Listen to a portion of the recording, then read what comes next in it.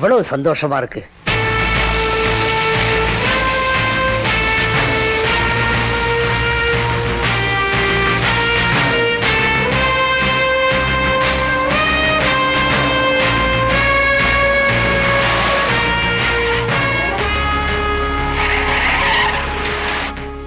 வணக்கம் ஐயா.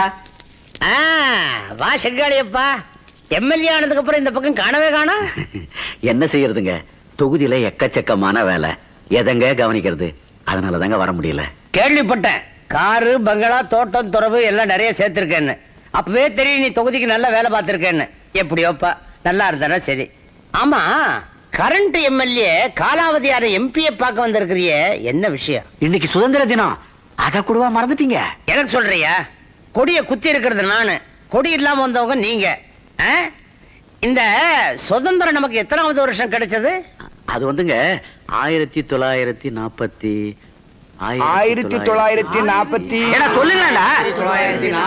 ஆயிரத்தி தொள்ளாயிரத்தி நாற்பது சில்லறையில வந்ததுங்க. சுதந்திரத்தை சில்லறை ஆக்கிட்டியா? டேய், என்ன விஷயமா வந்த? அது வந்து ஐயா நம்ம ஊர் பள்ளிக்கூடத்துல சுதந்திர தினத்துக்கு கொடியேற்றத்துக்கு என்ன கூப்பிட்டாங்க? நான் சின்ன ஐயாவை கூட்டிட்டு போலான்னு வந்திருக்கேன். ஓஹோ. இந்தம்மா இந்த பெரிய மனுஷங்கள்லாம் சேர்ந்து இன்னைக்கு கொடி ஏத்துறாங்களா அதுக்கு உன் புருஷனை அதான் நான் பெத்த புள்ளைய கூப்பிட வந்திருக்காங்க கூப்பிட அவனை. அவர் காலையிலேயே ஃபேக்டரி போயிட்டாரு. அப்ப நாங்க ஃபேக்டரியில போய். ஏயோ எவ்வளவு துணிச்சல் இருந்தா இந்த மயில்சாமி கவுண்டரை அரெஸ்ட் பண்ண வந்திருப்பீங்க? அறிவு தெரிஞ்ச நாளா இதே தொழில் தான் பண்ணிட்டு இருக்க? ஒரு பையன் நம்மளை அரெஸ்ட் பண்ண வந்ததில்ல. ஆ? வேலை அரசாங்கத்துல செய்றீங்க சம்பளத்தை என்கிட்ட வாங்கிட்டு இருக்கீங்க அப்ப கொலைச்சிங்க இப்ப கடிக்க வேண்டீங்களா அப்ப எம்பி நீங்க மேலிடத்துல செல்வாக்கு இருந்துச்சு. இப்ப எக்ஸ் எம்பி உடனே உங்களை அரெஸ்ட் பண்ண சொல்லியிருக்காங்க. தம்பி தேவனே நான் எம்பியா இருக்கும்போது உன் போலீஸ் தொப்பி எடுக்க வச்சிருக்கேன். இப்ப நான் எக்ஸ் எம்பி உன் தலையை எடுத்துருவேன். தொப்பி எடுக்கிறது மரியாதை தலை எடுக்கிறது மர்டர் என்ன பொறுத்தல ரெண்டுமே ஒண்ணுதான். ஓய் மைசாமி இந்த மிரட்டல்ல என்கிட்ட வேண்டாம் ஒழுங்கா ஜீப்ல வந்தேரு எங்க அப்பனை எவனும் கைய நீட்டிய பேசுனது இல்ல நீ துப்பாக்கி நீட்டியா பேசுற? சாவு மணி அடிச்சிருவேன். ஜாக்கிரதை. அட ஏன்டா அவனை இவர் போய் மணி அடிச்சிட்டு இருக்க? இவர் நம்ம முட்டிக்கில சுடுறதா இருந்தா கூட கலெக்டர் கிட்ட தான் போய் கேட்கணும். ஆனா நம்ம இவர் மாரில் சுடுறதா இருந்தா யார்கிட்டயும் கேட்க வேணாம். இப்ப சுட்டலாமா?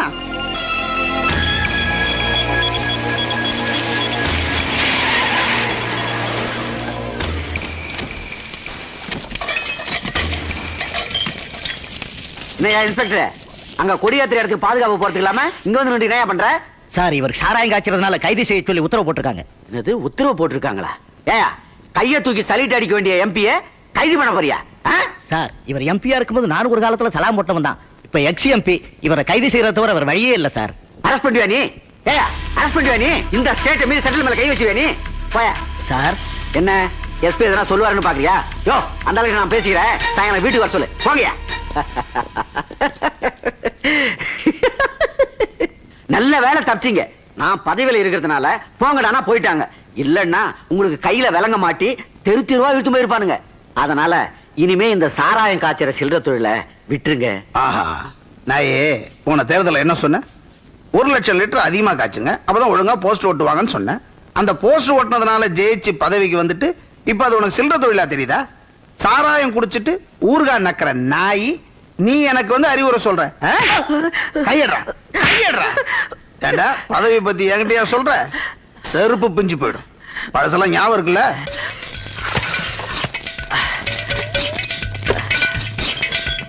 சாராயம் காய்ச்சற அடுப்புக்கு விரவு பொறுக்கி போடுற பொறுக்கி உன்னெல்லாம் சட்டசபை அனுப்பிச்சு தப்பா போச்சுடா. டேய் மண்டி போட்டு நின்ன பயலுக்கெல்லாம் மயக்க புடிச்சு பேசினா இப்படிதான்டா. திமிர் தலைக்கேறிடும்டா கவுண்டரே நீங்க எஜமான் தான் நான் எடுபுடி தான் இல்லன்னு சொல்லல. என்ன அடிக்கிறதுக்கு உங்களுக்கு பூரண உரிமை உண்டு. இருந்தாலும் இப்ப நான் எம்எல்ஏ கவுண்டரே. டே நீ எம்எல்ஏ தான்டா. நான் எம்பி இல்லடா. ஆனா எனக்கு இருக்கிற பழைய பணம் திமிரு செல்வாக்கு லொள்ளு எல்லாம் அப்படியே தான்டா இருக்குது. என்ன இந்த எம்பி மட்டும் தான்டா இல்ல அதெல்லாம் இருக்கட்டும். இப்ப எதுக்கு வந்த? நான் எம்எல்ஏ. அதனால பள்ளிக்கூடத்துல சுதந்திர தினத்துக்கு கொடியேற்றத்துக்கு என்ன கூப்பிட்டாங்க? நான் எஜமாங்கிற உணர்வோட உங்களை கூப்பிட வந்திருக்கேன். டேய் டேய் நடிக்கிறான் பார். என்ன மாதிரி நடிக்கிறான் பார்? அப்படியே விட்டுலாம் உன்ன. சாதாரண இருக்கும்போது ஒழுங்கா இருக்கீங்க பதவி வந்தோன்னு நடிக்கிறீங்களா? எஜமா விசுவாசமாடா என்ன கூப்பிட்ட? போஸ்டர்ல இவ்வளோ பெருசா இவன் பேரு. கீழே தர்மத்துக்கு சின்னதா என் பேரு. என்ன எதுக்காக கூப்பிடுறேன்னு தெரியாதடா டேய். பதவி இருக்கிறதுனால நீ கொடியேத்துவ. நான் வேடிக்கை பார்க்கணும். பதவி இருக்கிறதுனால நீ முட்டாய் கொடுப்ப. அதுல ஒரு முட்டாயை வாங்கிட்டு பதவி இல்லைன்றதுனால ஓரத்துல நின்று நான் சாப்பிட்டுட்டு இருக்கணும். பதவி இல்லைன்னா எவ்வளவு கஷ்டம் இப்போதானே எனக்கு தெரியுது. அவன் என்னடா நான் அரஸ்ட்னு சொல்றான்? இவன் என்னடா நான் கொடி எத்தனை வேடிக்கை பாருன்னு சொல்றான்?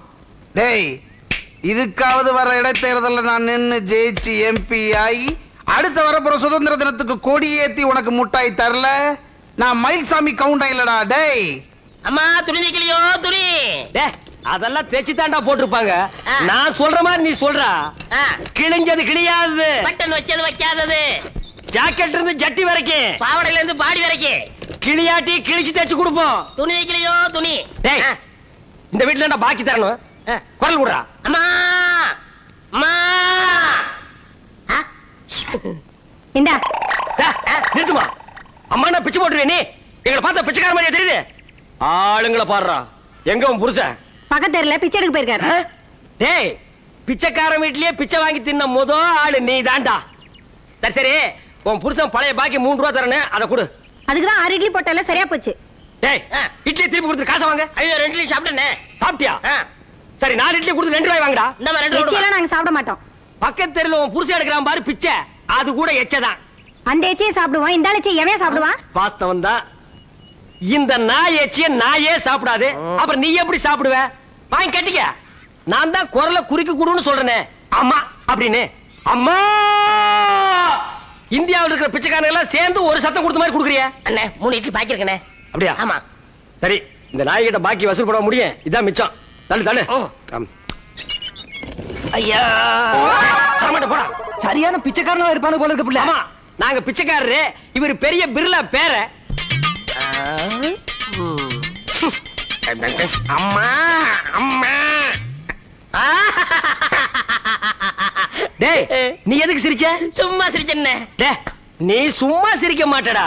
உன்னை பத்தி எனக்கு தெரியாதா? என்ன இவன் ரேஞ்சில் நினைச்சு பார்த்திருப்ப சிரிச்சிருப்ப. அது பிள்ளை கரெக்டா கண்டுபிடிச்சீங்க? ஏன் கண்டுபிடிக்க முடியாது? எத்தனை வருஷமா என் கூட நீ சுத்துற. டேய் இவன் தோத்துறா டேய் போடா. போடா. என்னடா நாங்க ஒருத்தருக்கு நீ வர டேய், தள்ளு தள்ளு. போடா. போடா நாய. போ.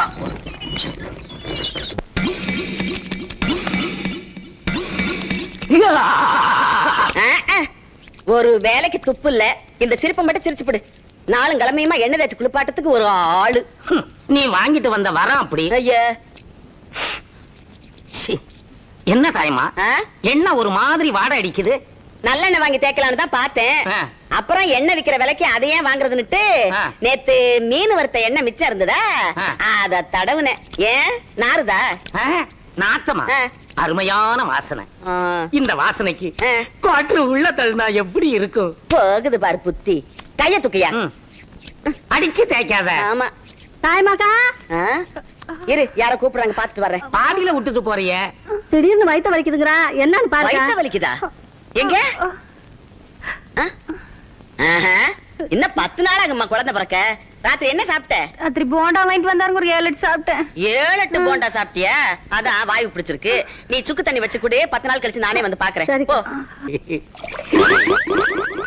தண்ணிக்குள்ளேயே தண்ணி வச்சிருந்தது தாயம்மாவுக்கு தெரியாது.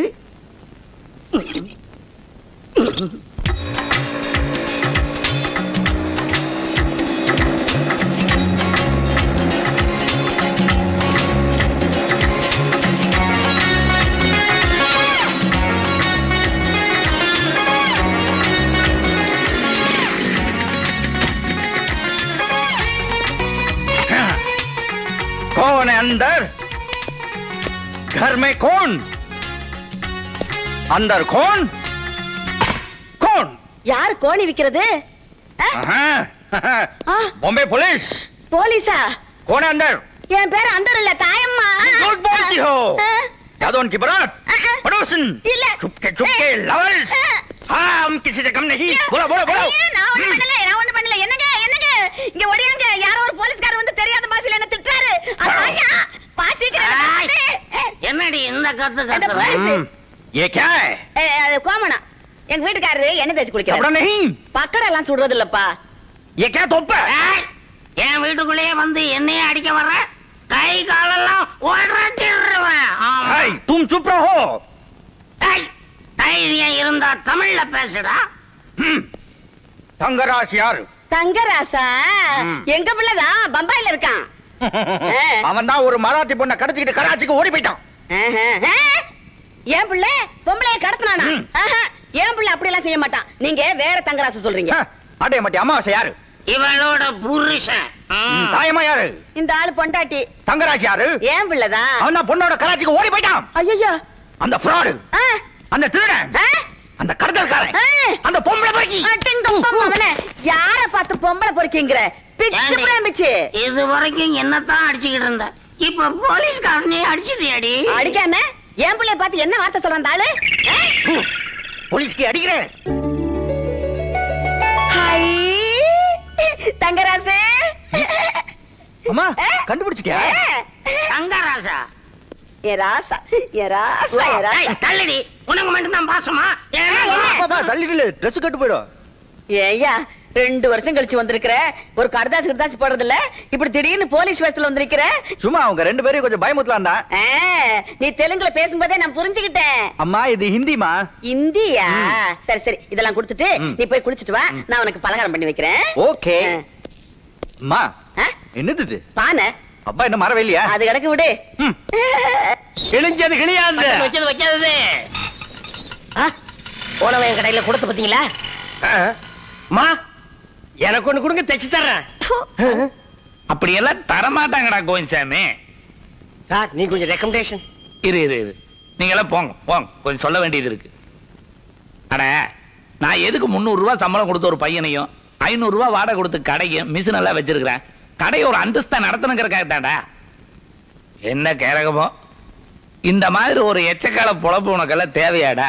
காலையில இருந்து அலைகிறீங்க யார் உங்களை சீந்துனா தா இதுல ஒரு ரூபா இருக்கு. ரெண்டு பேரும் வயிறு நிறைய சாப்பிட்டுருங்க அண்ணன் தர்றாரு வாங்கிடா. நம்ம இனத்துக்காரன்னு தர்றேன். இனிமே இந்த பக்கமே வரக்கூடாது. இனிமே இந்த பக்கம் நாங்க வரவே மாட்டோம்? அட மேடா இருக்கு நீ எப்படி தள்ளுவ. கிழிஞ்சது கிழியாது. பட்டன் வச்சது வைக்காதது. பிரிஞ்சது பிரியாது. பட்டன் வச்சது வைக்காதது. தாயம்மா வீடு வந்துருச்சு. கொஞ்சம் தண்ணி வாங்கி குடிச்சிட்டு போயிடலாம். கஷ்டப்பட்டு தள்ளது நானு. தண்ணி குடிக்கிறீங்களா? முதலாளினா ஏறக்குறைய அப்படித்தானே இருப்பாங்க. கேள்றா அம்மா! யாரு? அட கோயந்தசாமி நீயா? கிழிஞ்ச துணியெல்லாம் ஒண்ணு இல்லப்பா. அதான் ஊரே சொல்லுத. குடி கொஞ்சம் தண்ணி கொடுங்க. தண்ணியா? இரு வரேன். கொண்டா அடேங்கப்பா ரொம்ப தாகமா? ஏன்பா கோயந்தசாமி. என்ன தொழில்லாம் ஓடுது இல்ல தொழில் எங்க ஓடுது. வண்டி ஓடுது. வண்டி வாங்கிருக்கியா அந்த வண்டியில நான் உட்கார்ந்திருக்கேன். இந்த வண்டியே சொல்றியா?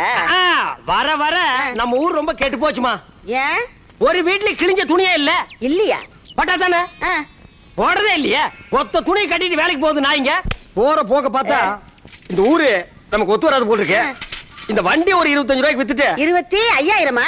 அட காது கேட்காதா? ஆ. இருபத்தஞ்சாயிரம் ரூபாய்க்கு எவ்வளவு வாங்குவானா. இருபத்தஞ்சு ரூபாய்க்கு விட்டு கடாச்சிட்டு நான் வெளியூர் கோடி போயிடலான்னு பாக்குறேன் ஏ கோயிங்சாமி ஆ. அங்கராசு எப்பப்பா வந்த? நான் போய் வந்துட்டேன். நீங்க எப்படி இருக்கீங்க? அப்பா இந்த ரேஞ்சில என்ன பார்த்துட்டு எப்படி இருக்கீங்கன்னு கேக்குறீங்க இது நியாயமாப்பா?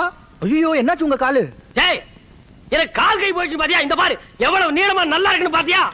அது இருக்கட்டும். பெருசா ஒரு தைய கடை வச்சிருந்தீங்க அது என்னாச்சு? சைடுல ஒரு டாக் நிக்குது பாத்தியா. டாக்கா? இத வச்சிட்டு மில்லே வச்சிருந்தாலும் விளங்க மாட்டான். அதெல்லாம் விட்டு கடாசியாச்சுப்பா இங்க பாருங்க இதாவது மிஞ்சி சந்தோஷப்படுங்க? இது மிஞ்சிருக்கு நான் ஏன்டா சந்தோஷப்படணும் கோயின்சாமினே நீங்க எதுவும் கவலைப்படாதீங்க. நான் பாம்பேக்கு போய் டெய்லரிங்க பத்தி லேட்டஸ்ட் டெக்னாலஜி படிச்சுட்டு வந்திருக்கேன்.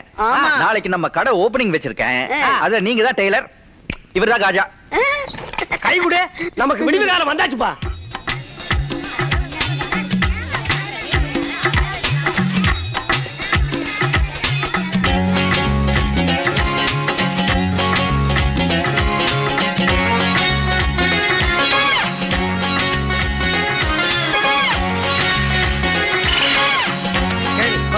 விடிவு காலம் வந்தாச்சுப்பா உள்ள போ உள்ள போ. உள்ள போ போடா. போ. ம், உனக்கு என்னமா சுடிதா. ஆம். முப்பத்தி ஆறு இருபத்தி ரெண்டு திரும்ப கை நீட்டு. இருபத்தி நாலு நாற்பது. போ. உனக்கு என்னமா மிடி ஆம். இருபத்தி ரெண்டு முப்பது. திரும்ப. சரி நான் பாத்துக்கிறேன். இப்போ என்னண்ணே?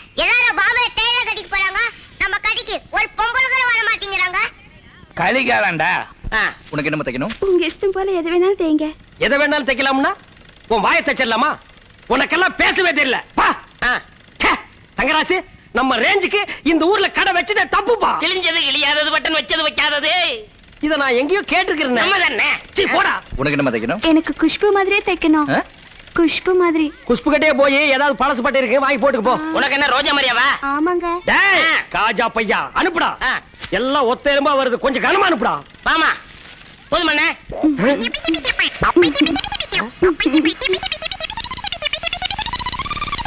உனக்கு என்ன மாதிரிமா உலக அழகி ஐஸ்வர்யா ராய் மாதிரி தைக்கணும்.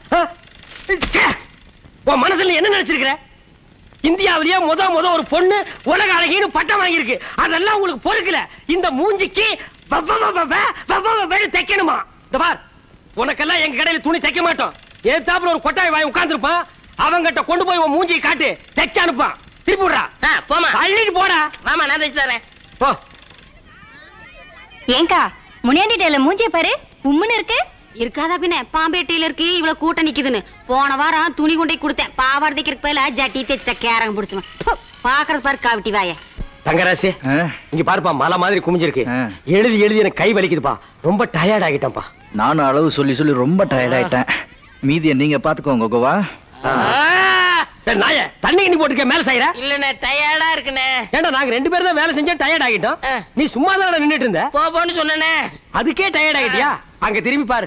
ஐயோ ரெண்டு மைல் இருக்கும் இருக்க. இது ஒண்ணு இன்னைக்கு நடக்கிற கதை இல்ல.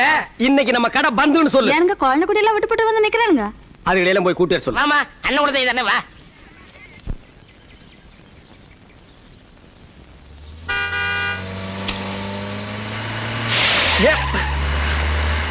ஏய் அறிவு கட்டவனே. போடா.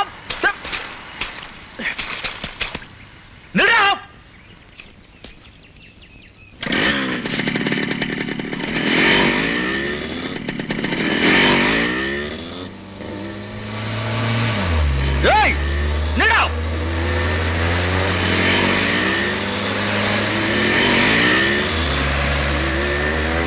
நிடா ஏய் ஸ்டாப் ஏய் நிறுத்துங்க ஏய் நிடா நிறுத்த வண்டிய.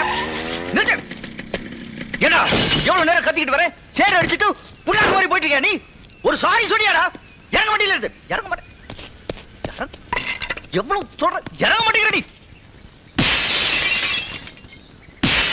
நீ ஏமா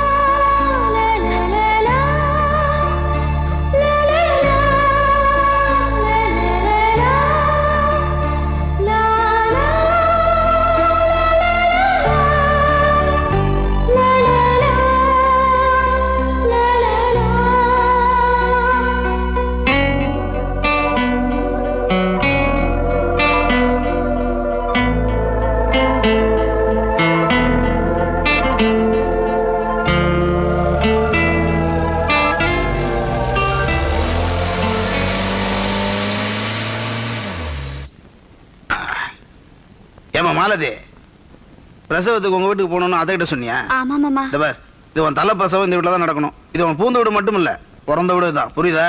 ஓ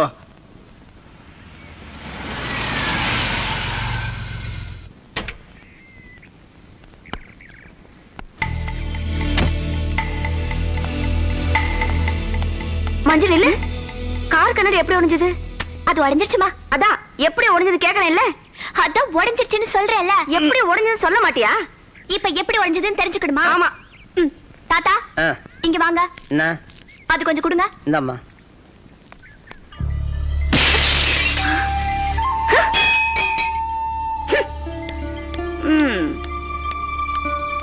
என்ன திமிரு பாத்தீங்களா உங்க பொண்ணுக்கு? பின்ன ஏன் பொண்ணாச்சேடி? அவகிட்ட போய் கண்ணாடி எப்படி உடைச்சா கண்ணாடி எப்படி உடைச்சேன்னு கேட்டா அதான் உடைச்சு காமிச்சிட்டு போறா. இன்னொரு தடவை கேட்காத இருக்கிற கண்ணாடியில உடைச்சிட போறா.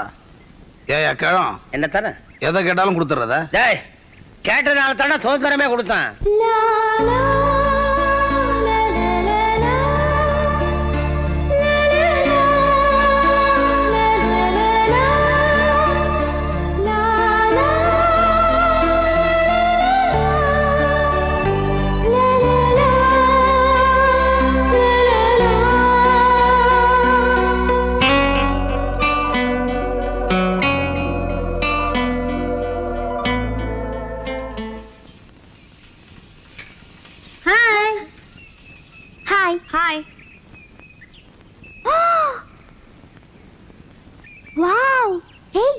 பார்வதி தானே?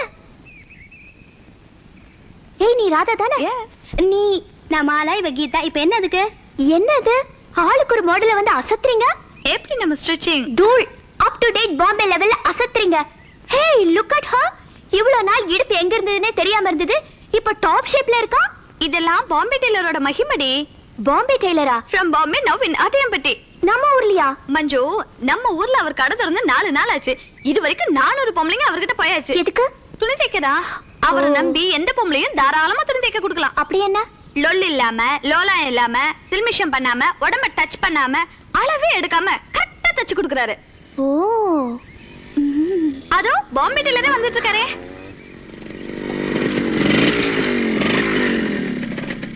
வாங்க சார் நூறு ஆயிடுச்சு. உங்களை பத்தி தான் பேசிட்டு இருக்கோம். அதுக்கு நடு ரோட்ல தான் இடம் கிடைச்சதா? என்ன பத்தி என்ன பேசிட்டு இருந்தீங்க? உங்க ஸ்டிச்சிங்க பார்த்து மஞ்சுளா அசந்துட்டா சார்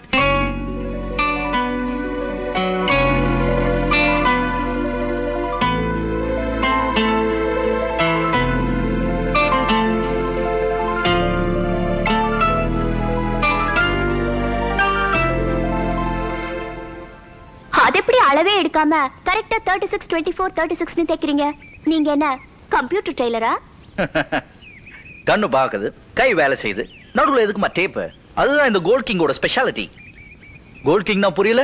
என் பேரு தங்கராஜ். டிங் டிங் அப்படின்னா யாரையுமே தொட்டு அளவெடுக்க மாட்டீங்களா? எடுப்பேன். யார? நான் கட்டிக்க போறவளை மட்டும் தொட்டு அளவெடுப்பேன்.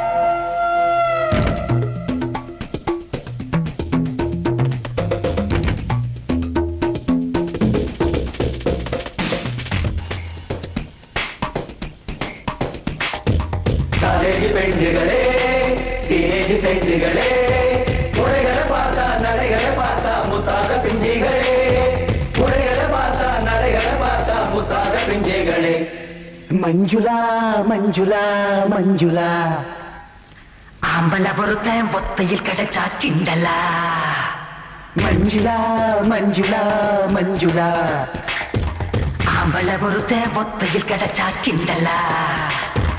மாடலின் அளவு தெரிஞ்சவனா மனசின் அளவு தெரியாது. கண்ணால் அளவு எடுப்பவனா கைகள் எதையும் அறியாது.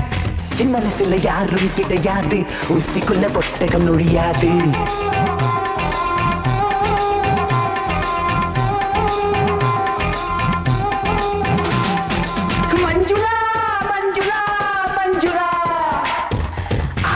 அவள ஒருத்தன் பொத்தையில் கிடைச்சா கிண்டலா?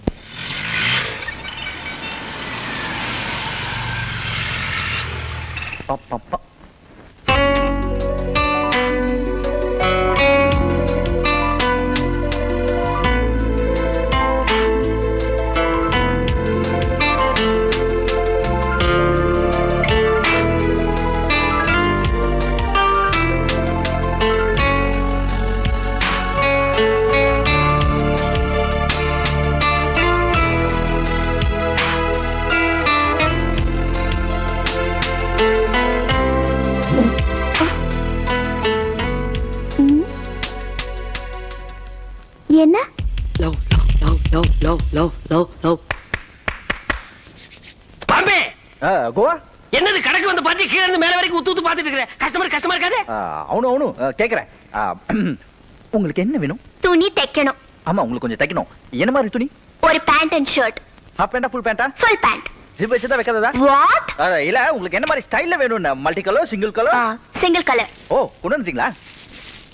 ஐயோ இதுல தைக்கவே முடியாது. எல்லாம் தெரியுமே. இது ஷர்ட்டுக்குங்க இது பேண்ட்டுக்கு ஓ அதெல்லாம் இருக்கட்டும். நான் பாத்துக்கிறேன், நான் பாத்துக்கிறேன். முத முதல்ல நம்ம கடைக்கு வந்திருக்கீங்க. உங்களுக்கு நான் ஏதாவது கொடுக்கணும். இல்ல காஃபி டீ போன்விட்டா உங்க இஷ்டம். ए भैया ஐயா கேவனா एक टी ले आओ ஏ வையா லடுக்கா லடுக்கி की की हम्म लड़क लड़की லடுக்கி லடுக்கி हाँ। கி, கி, கி. ம். எடுத்துருவோமா என்ன சார் அளவே எடுக்காம தைக்கிறதா உங்க ஸ்பெஷாலிட்டி நாங்க என் ரொம்ப நாள் ஆசையை நிறைவேற்ற போறேன். Just a minute. டோரை க்ளோஸ் பண்ணிட்டா. வா. பாம்பே. புக் எடுத்துட்டீங்களா? யா. குறிச்சுக்கோங்க. முத முதல்ல. சர்வதேச லெவல்ல. உங்களுக்குன்னு ஸ்பெஷலா ஒரு டிசைன் நான் என் மைண்ட்லயே வச்சிருக்கேன். அட்ரா அட்ரா அத உங்களை தவிர வேற யாரும் போடவே முடியாது. அப்புறம் எதுக்கு அதை தூக்கி தூர விட்டு எறிஞ்சிரு? உங்க அழகுக்கும் அறிவுக்கும். ட்ரெஸ்ஸே தேவையில்லைங்கறியா? ஐயோ கோவா. பாம்பே பாம்பே. உன்னை பத்தி புரிஞ்சுக்கிட்டப்பா நோட் நோட். அந்த கையை கொஞ்சம் இப்படி வைங்க. இருங்க. நான் கட்டிக்க போறவளை மட்டும் தொட்டு அளவெடுப்பேன்.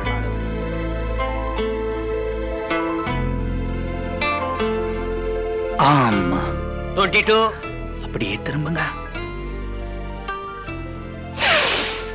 Neck fourteen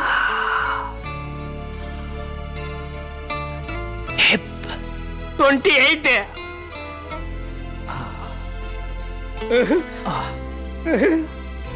bottom stop it copy ஆயே நாய் வந்துட்டான். விடுறா காஃபி எஸ் காஃபி என்னங்க? அளவெடுக்கிறதுக்கு முன்னாடி நல்லா இருந்தீங்க? இப்ப என்னாச்சு? தெரியல. யோ அளவெடுக்கு வந்த பொண்ணு இந்த பெரட்டு பெரட்டுனா என்னையா ஆகிறது? சாப்பிடுங்க. காஃபில சுகர் போடல அதான். சாப்பிடுங்க. போதுமா. போதுமா. போதுமா. போதுமா.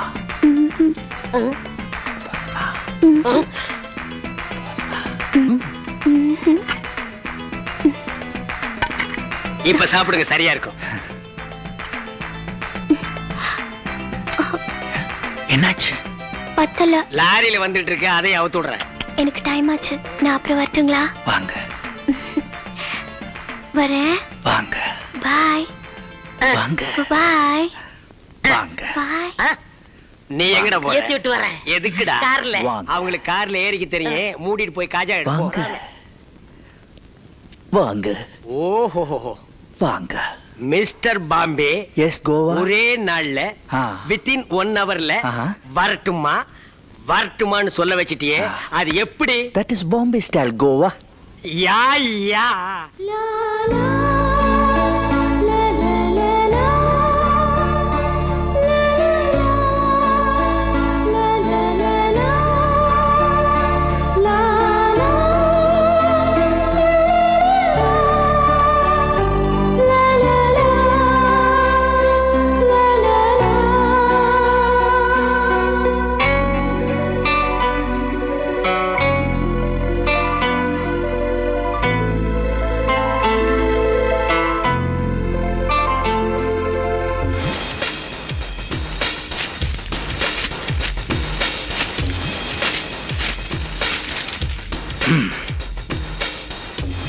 பார்த்ததிலே அவள் ஒருத்தியைத்தான்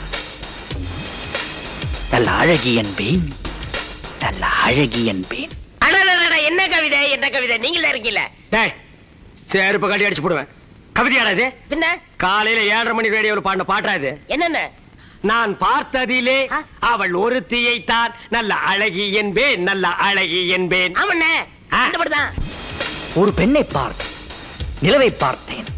நிலவில் குளிரில்லை அவள் கண்ணை பார்த்தேன் மலரை பார்த்தேன் மலரில் ஒளி இல்லை. ஓ அந்த பாட்டா இது வேற எந்த பாட்டுன்னு நினைச்சேன் தங்கராசு. கவிதை தெரியலனா என்ன மாதிரி கவிஞர்கிட்ட கேட்டு தெரிஞ்சுக்க சொல்லுங்க பஞ்சு மிட்டாய் போன்ற பிஞ்சு உதடுகளே. பாட்டில் இருக்கும் கடலை உருண்டையே. கட்டிச்சு திங்கும் நெய் முறுக்கே காரி துப்புமோ மூஞ்சிய து, நாயே இதெல்லாம் ஒரு கவிதையாடா இந்த மாதிரி கவிதை பாடுறா நான் உட்கார்ந்துருக்க பீப்பாயி அது தலையில போய் அவுத்து விடு படா தங்கராசு நீ பெரிய இடத்தை டச் பண்ணிட்டு இருக்கிறம்மா. அது என்னைக்கு இருந்தாலும் டேஞ்சர் அப்படி ஒரு டேஞ்சர் பொசிஷன் வந்துன்னு வெய்யே. எங்க நிலைமை. பட்டன் வச்சது வைக்காதது. இழைஞ்சது கிடையாது. பட்டன் வச்சது வைக்காதது. இழைஞ்சது கிடையாது. பட்டன் வச்சது வைக்காதது. அவங்களுக்கு என்ன தெரியும்? Come, my darling.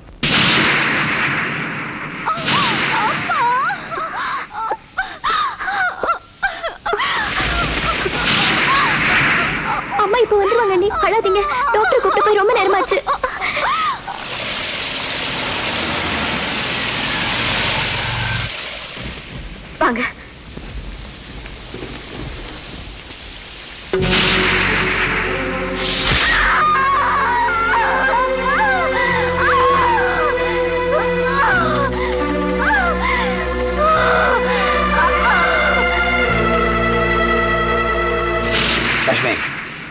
டவுன்ல போய் டாக்டர் கூப்பிட்டு வானா உள்ளூர் மருத்துவச்சியை கூப்பிட்டு வந்திருக்க. அது மழை அதிகமா பெய்யறதுனால ஆத்து நிறைய தண்ணி ஓடுதுப்பா. என்னால காரை ஓட்டிட்டு டவுனுக்கு போக முடியல. அதனால தான் இவங்களை கூட்டிட்டு வந்தேன். டேய் மயில்சாமி இவங்களும் நல்லபடியா பிரசவம் பார்ப்பாங்கடா. அப்பா எனக்கு தெரியாதா? இந்த மயில்சாமி கவுண்டருடைய மருமகளுக்கு உள்ளூர் மருத்துவச்சி பிரசவம் பார்த்து ஏதாவது ஆயிடுச்சுன்னா? டேய் உள்ளூர் மருத்துவ பிரசவம் பார்த்தாடா நீ ஏன் பிறந்து கல்லு மாதிரி இருக்கிற. அந்தஸ்து கௌரவம் பார்க்கற நேரம் பாடாது தாயம்மா நீங்க போங்க. வாங்க.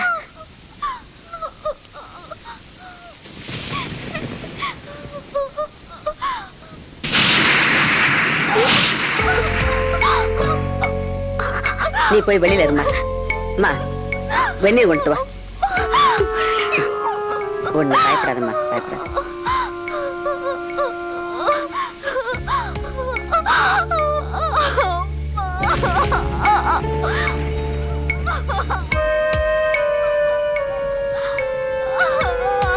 குழந்தை திரும்பி இருக்கு. அதான் புள்ள எப்படி கஷ்டப்படுது. ஒண்ணும் பயப்படாதீங்க சீக்கிரம் குழந்தை பிறந்துரும். கொஞ்சம் பொறுத்துக்கம்மா கொஞ்சம் பொறுத்துக்க.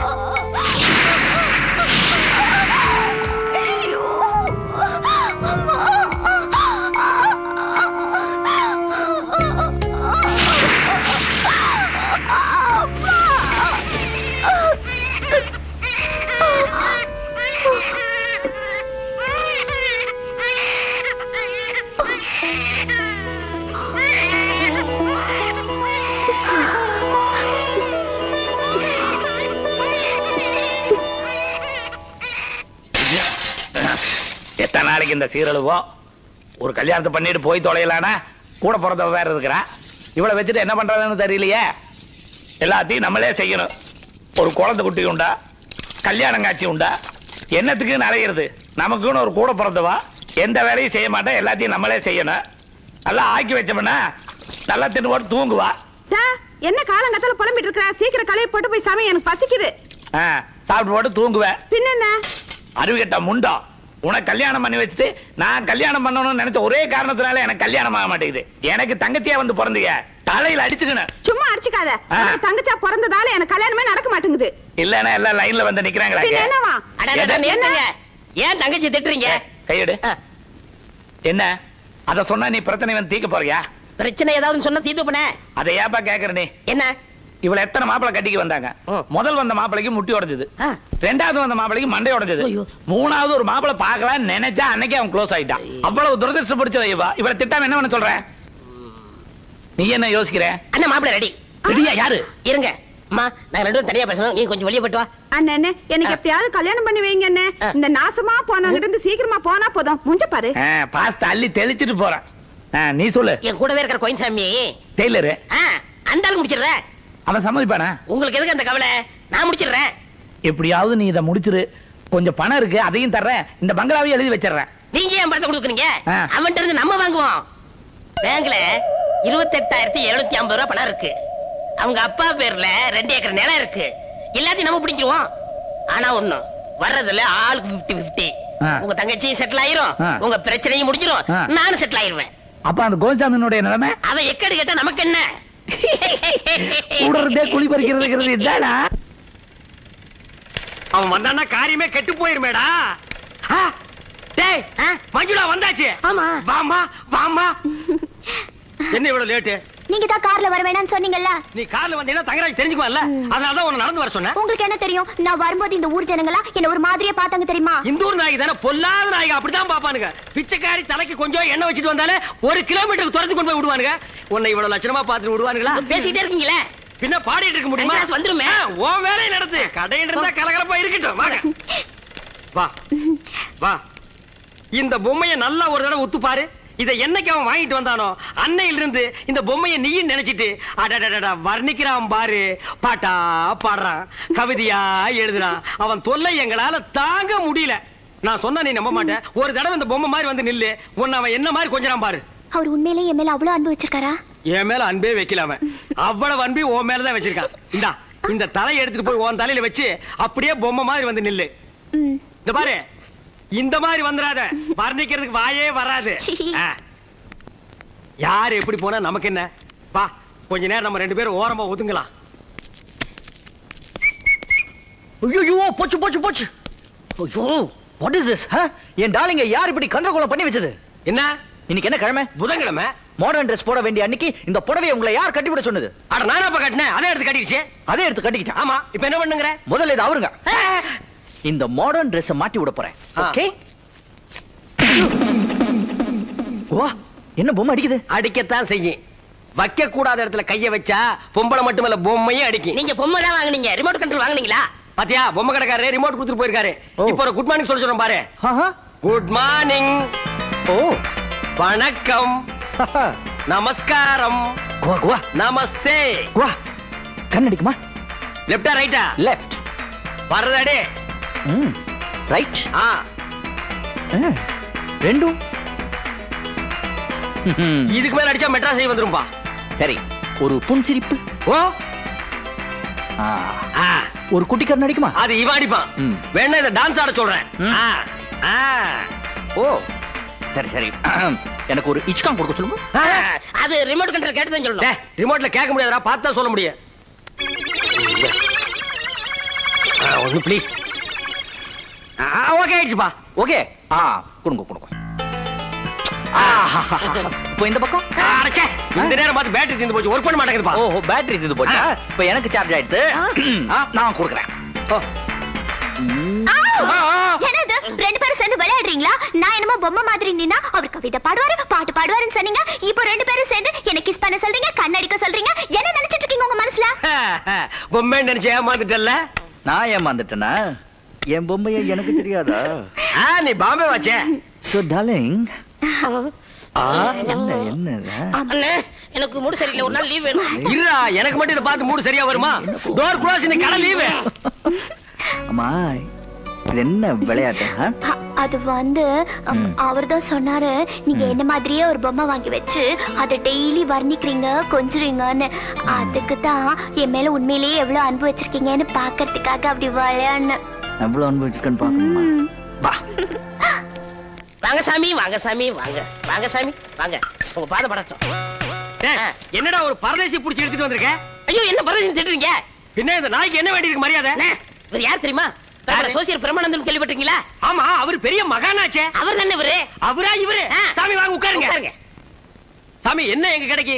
ஜிப்பா தச்சிட்டு போலான்னு வந்தீங்களா? இல்லண்ணே ஆ. உங்க கைய பார்த்து சோசியம் சொல்லலாம்னு வந்திருக்காரு. இவர் சொன்ன கரெக்டா நடக்கும்னே அப்படியா? ஆ. ஒருத்தன் கைய பார்த்து பத்து லட்சம் விழுகும்னாரு. ஆ. விழுந்துருச்ச. என்ன கையா? இல்ல பத்து லட்சம். சாமி எனக்கும் பாருங்க ஏதாவது விழுகுமான்னு. என்ன? இது கையே இல்லைங்க. அப்ப விட்டுரு அது இல்லைங்க. அமெரிக்கா ஜனாதிபதி. ஆ, இங்கிலாந்து இளவரசி. ஜப்பான் நிதி மந்திரி. பூட்டான் பிரதம மந்திரி. அவங்க கையும் இந்த கையும் ஒத்து போகுதுங்க. என்ன நம்ம கிட்டே பீலா விடுறியா? மாட மாளிகையில் இருக்கிற அவங்க எங்க? மாச கடைசியில பீடி கலையிற நான் எங்க?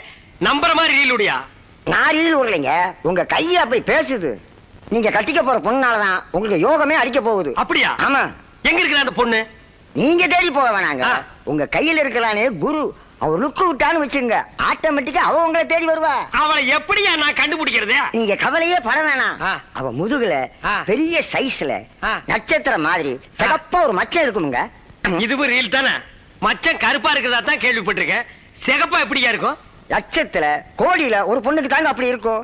அப்பேற்பட்ட பொண்ணு இந்த மாதிரி கைக்கு தாங்க செட் ஆவா. நான் அடிச்சு சொல்றேன். அவளை மட்டும் நீங்க கல்யாணம் பண்ணிக்கிட்டீங்கன்னு வைங்க. நீங்க இருக்கிற இடமே வேற ஆமா சார் உங்க வண்டி என்ன இந்த மாதிரி ஜங்கு புங்குன்னு குலுங்குது? அதுக்கு நான் என்ன பண்றது? நம்ம என்ன நேஷனல் ஹைவேலியா போறோம்? எல்லாரும் ஒரு பாட்டு பாடுங்க. குத்து குத்தி ரக்கமா பொண்ணு வேணும். குடுக்கலி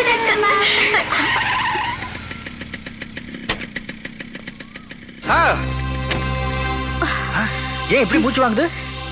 மஞ்சு? இது போதுமா? இன்னும் ரெண்டு பேரை கூட்டிட்டு வரதானே? பஸ் பிரேக் டவுன் ஆகி நாலு பேர் தான் இருந்தாங்க. ஏன்? பஸ் ஸ்டாப்ல ஆம்பளைங்க வேற யாருமே இல்லையா? இருந்தாங்களே. ஏன் அவங்கள கூட்டிட்டு வரதானே? அவங்க யாரும் என்ன கேட்கலையே இவங்க தானே என்ன லிஃப்ட் கேட்டாங்க. நீங்களா பொண்ணுங்களா? வெக்கமான இதெல்லாம் எதுவுமே உங்களுக்கு கிடையாதா? ஆ? சீ. ம்? சரி வந்ததுதான் வந்தீங்க. அதுக்காக இப்படி கட்டி பிடிச்சிட்டு வரணுமா குரங்குங்களா? இறங்குங்க. ஓ நீ அப்படி நினைச்சிட்டியா?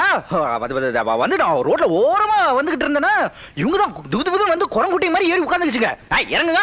ம். ஓகேயா தொத்திக்கிட்டாங்களா அப்ப அவங்களோட போங்க. I hate you I really hate you Manju Manju நான் I சொல்றது- hate ஏய். அந்த எனக்கு வந்து போங்க. I hate you, போங்க. புரண்டி. போங்க, இல்ல, நடந்து. ஆ, வண்டி. மஞ்சு மஞ்சு. I நான் hate அவங்களை you. ஏத்தல அவங்க தான் வந்து ஏறிக்கிட்டாங்க. மஞ்சு மஞ்சு நான் சொல்றது கேளு.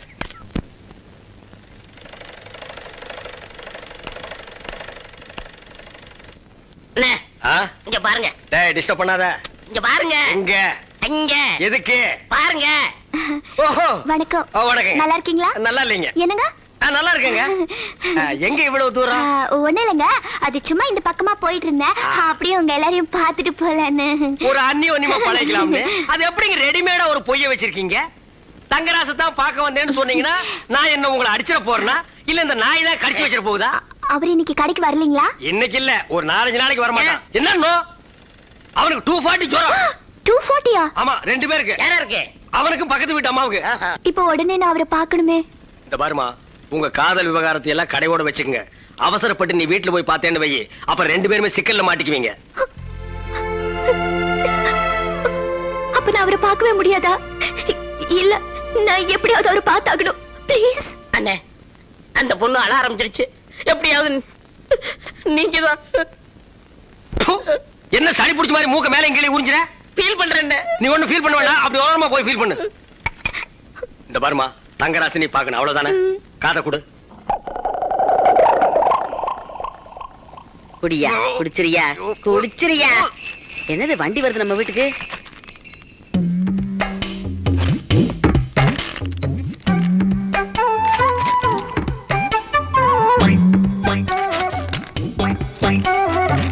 யார் நீங்க? பார்த்தா தெரியலீங்க. என்னது ஜடையா?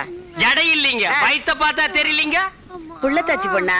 ஆமாங்க. பிரசவத்துக்காக ஆஸ்பத்திரி கூட்டிட்டு போனோம்ங்க இடையில வலி வந்துருச்சுங்க புள்ளைக்கு. பக்கத்துல மருத்துவச்சி வீடு ஏதாவது இருக்கான்னு கேட்டனுங்க. இங்க தாயமா பாப்பாங்கன்னு உங்க வீட்டு சொன்னாங்க. கூட்டி வந்தனுங்க. நீங்க அண்ணா. அண்ணனா? ஆ, அண்ணிங்கிறதுக்கு தானுங்க. அண்ணா அண்ணிங்கிறானுங்க. அம்மா. பையனுக்கு மேலோதடு இல்லைங்க. பாருங்க. எது? காட்டுறா. அப்ப நான் உள்ள வரணுமா? இல்ல நீ வெளியிலேயே நில்லு? மாட்டுக்கு துணையா? வா கண்ணு. வாங்க. வா. அம்மா? என்ன இப்படி குதிக்கிற? அது சின்ன புள்ளையில இருந்தே ஸ்கிப்பிங் விளையாடி பழக்கம். அம்மா தாயி இப்படி குதிச்ச வயித்துல இருக்கிற புள்ள வெளியே எகிரிடும். எதுக்கு? வயித்துல ஒரு கைய வச்சுட்டே போ. மெதுவா. அம்மா. மெதுவா.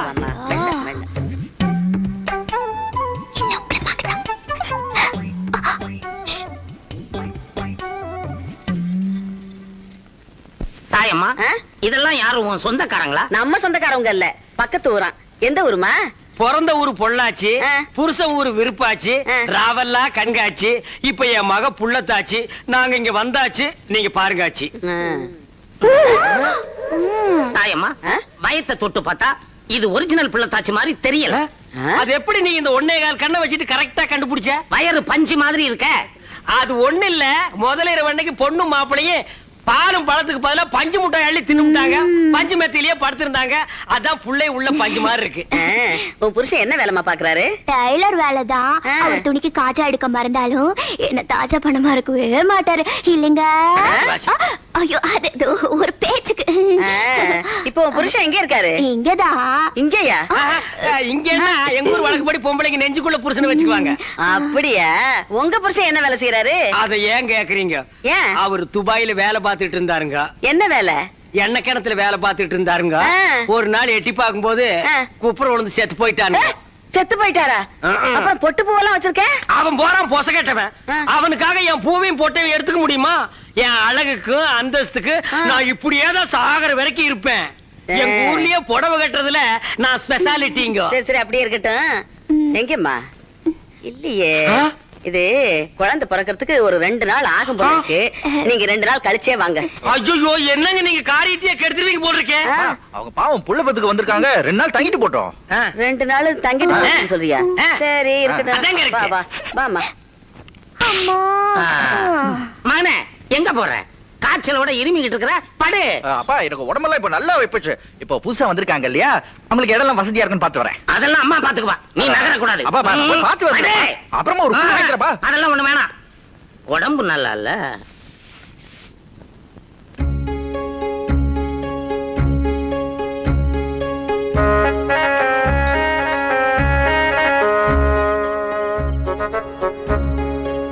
இங்க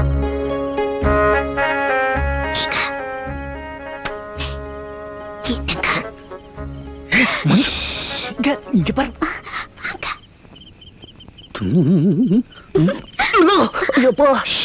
சத்தம் போடாதீங்க. உள்ள இருக்கிறவங்க மூச்சு போறாங்க. மஞ்சு நம்ம காதலிச்சு அஞ்சு மாசம் தானே ஆச்சு? இன்னும் ஒண்ணும் பண்ணல. அதுக்குள்ள இது எப்படி? கட்டினவனுக்கு காய்ச்சல்னா கால் மாட்டிலே இருந்து கவனிச்சுக்கலாம். ஆனா காதலிக்கவருக்கு காய்ச்சல் இப்படி மாறு விஷயத்துல தானே வர வேண்டியிருக்கு? என்ன வச்சு அடைச்சிருக்க உங்களுக்கு காய்ச்சல்னு கேள்விப்பட்டோன்னா என்னால உங்களை பார்க்காம இருக்க முடியல. அதை இந்த விஷயத்துல வந்துட்டேன். தேங்க்யூ அம்மா காய்ச்சலே சுத்தமா இல்ல? காய்ச்சல் இல்லையா? உன்னை பாக்குறதுக்கு முன்னாடி நூத்தி ரெண்டு டிகிரி. உன்னை பார்த்ததுக்கு அப்புறம் தான் ஜீரோ டிகிரி ஆயிப்போச்சு ஐயோ ஜீரோ டிகிரினா ஜன்னி வந்துரும். ஜன்னி வந்துருமா? ஐயோ நீ தான் இருக்கிய சுடையத்துக்கு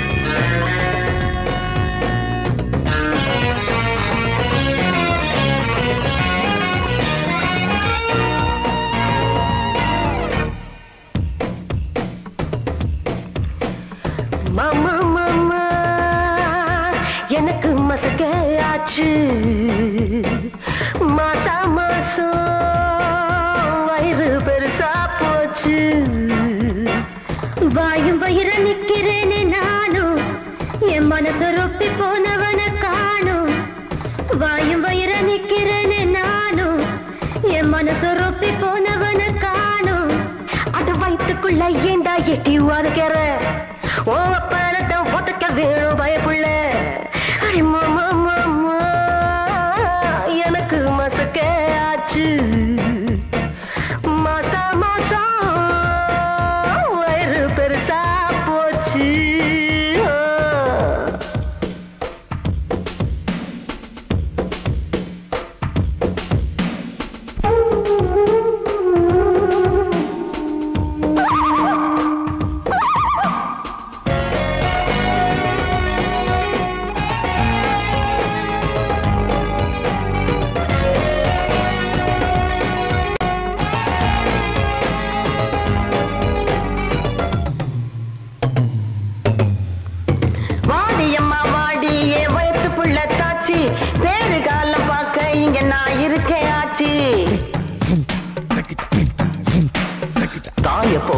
போல காக்க இந்த ஆட்சி உண்டு பொண்ணை.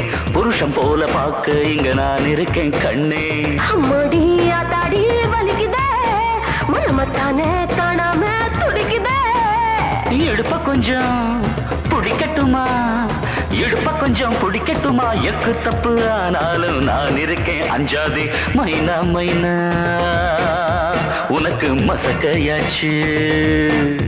அடி மாசா மாசம் வயிறு பெருசா போச்சு.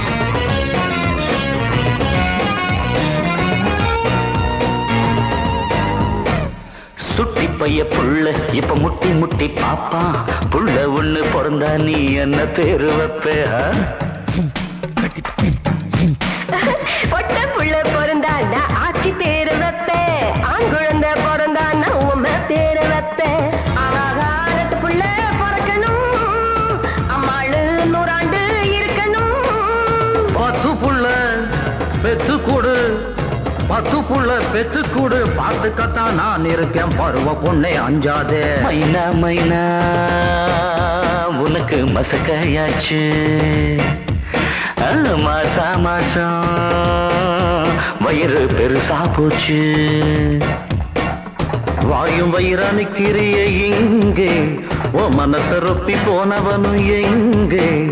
வாயும் வயிறானுக்கிறிய எங்கே ஓ மனசரொப்பி போனவனு எங்கே? இவ வயத்துக்குள்ள ஏண்டா எட்டி புதைக்கிற? உங்க பணத்தான் புதைக்க வேணும் பயமுள்ள. ஆ, மைனா மைனா உனக்கு மசக்கையாச்சு.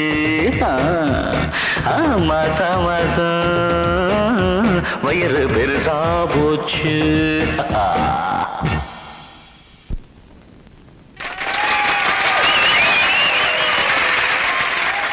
வணக்கம் இந்த ராஜ் டிவி நிகழ்ச்சிக்கு வருகை தந்திருக்கும் உங்களையும் இந்த நிகழ்ச்சியில் கலந்து கொள்ள வருகை தந்திருக்கும் காதல் ஜோடிகளையும் வருக வருக என்று வரவேற்பது உங்கள் கவிக்குயில் விஷாலி கண்ணதாசன்.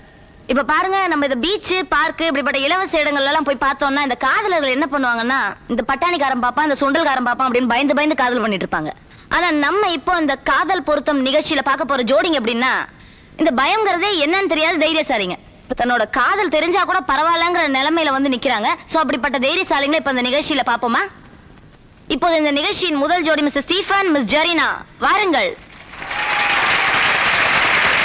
ஆ, போதும் போதும்.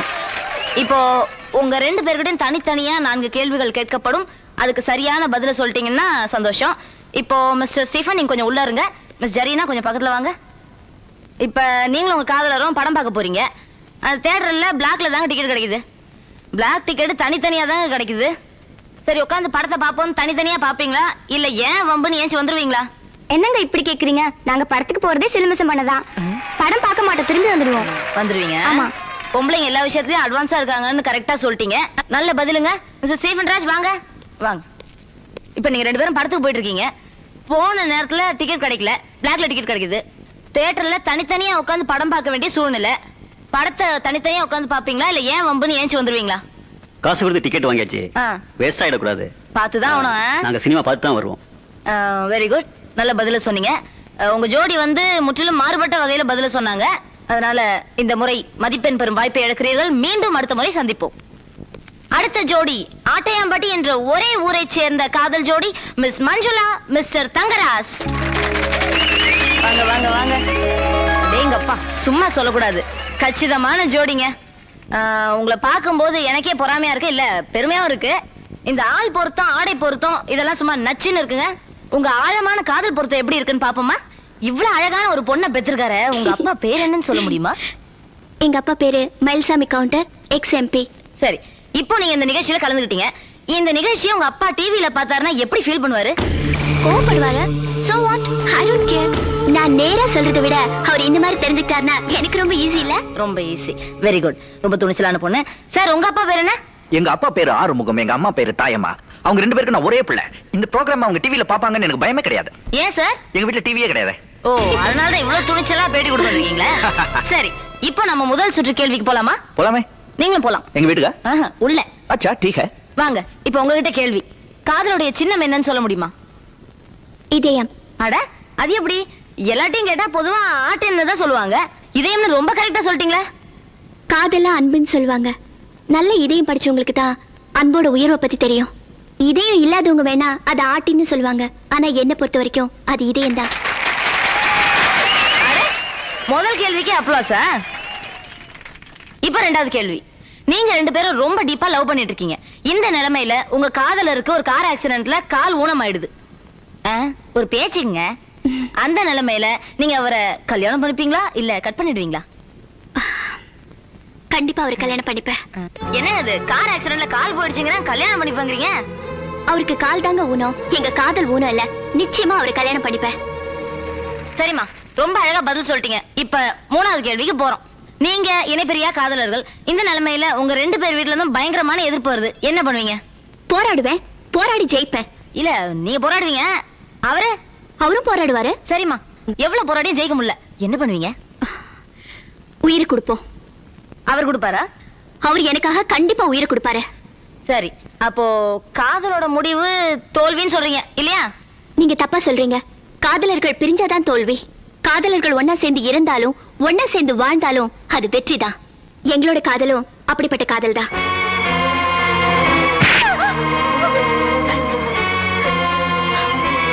நீங்க ரொம்ப அழகா பதில் சொன்னீங்க. வாழ்த்துக்கள் ரெண்டு பேர் வாழ்த்துக்கள். இப்போ உங்க ஜோடி புறா என்ன சொல்லுதுன்னு பாப்போம். மிஸ்டர் தங்கராஜ்? வாருங்கள் மிஸ்டர் தங்கராஜ் அவர்களே. இப்ப அவங்கள்ட்ட கேள்வி கேட்டாச்சு. இப்ப உங்ககிட்ட கேள்விகள். முதல் கேள்விக்கு போலாமா? ஓஎஸ் சரி. காதலின் சின்னம் என்னவென்று சொல்ல முடியுமா? சின்னம்? நீ என்ன சொன்ன? இதானே வேணாங்கிறது. நீங்க எப்படி வாங்க இப்படி வாங்க. இதுன வம்ப போச்சு. நீங்களா சொல்லணும் சார்? சின்னம். நானும் சொல்லுமா இதயம். இதயம். கரெக்ட் ஆனா பொதுவா எல்லாத்தையும் கேட்டா ஆட்டியம் தானே சொல்லுவாங்க. நீங்க எப்படி இதயம்னு கரெக்டா சொன்னீங்க சார்?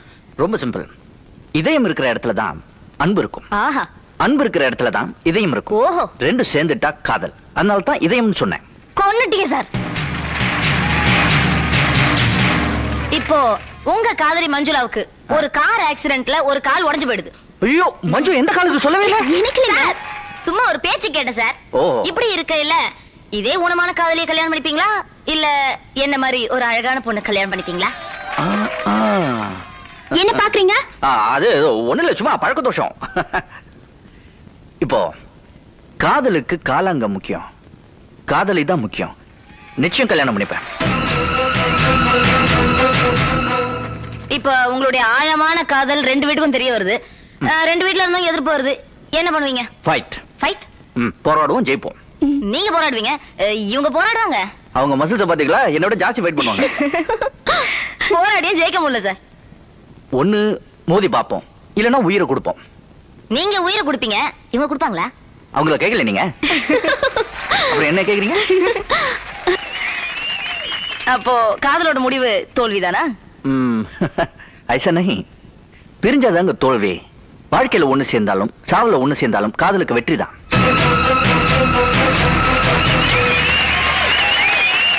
எல்லா கேள்விகளுக்கும் மிகச் சரியான தீர்க்கமான பதிலை கூறி முழு மதிப்பெண்களை பெற்று வெற்றி பெற்றிருக்கும் ஜோடி நான் சொல்ல தேவையில்ல உங்களுக்கே தெரியும். இருந்தாலும் சொல்ல வேண்டியது என் கடமை இல்லையா? Miss Manjula miss Thangaraj.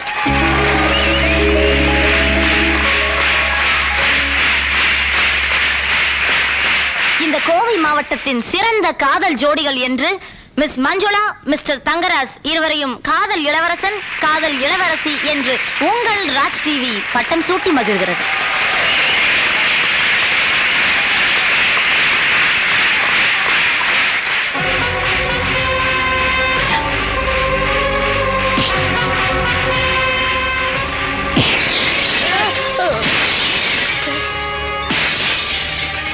தங்கராசுங்களா தெரியலீங்க.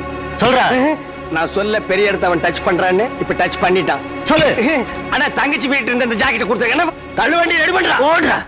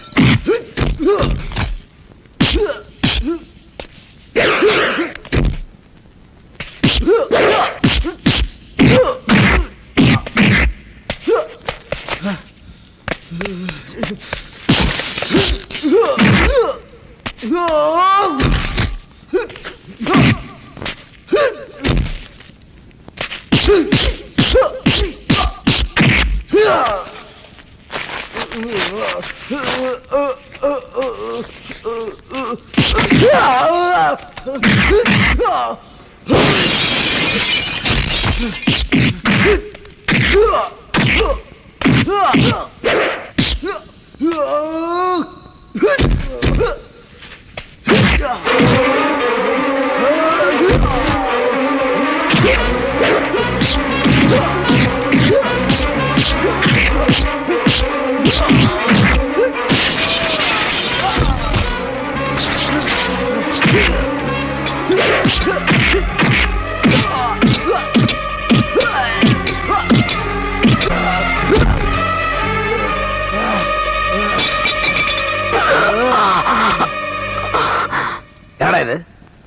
ரோட்ல சின்ன புள்ள மாதிரி சண்டை போட்டுட்டு இருக்க?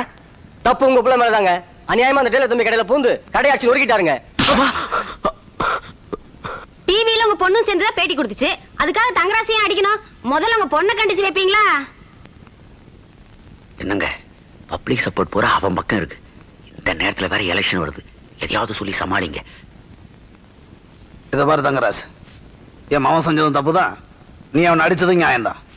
அதுக்காக நான் உன்கிட்ட மன்னிப்பு கேட்டுக்கிறேன். இதை பாருங்க. உங்களை நம்பி தான் இந்த எம்பி தேர்தலில் நான் நிக்கிறேன். இந்த விஷயத்தை இதோட விட்டுற மாட்டேன். நாளைக்கு மேடை போட்டு எப்படி பைசல் பண்றேன்னு பாருங்க. நாளைக்கு மீட்டிங்க்கு ஆறு தொகுதி ஜனங்களை வரணும். ஏற்பாடு பண்ணு. சரிங்க. ஓ ஏ, போட. அட போட என்ன வரேன் தம்பி.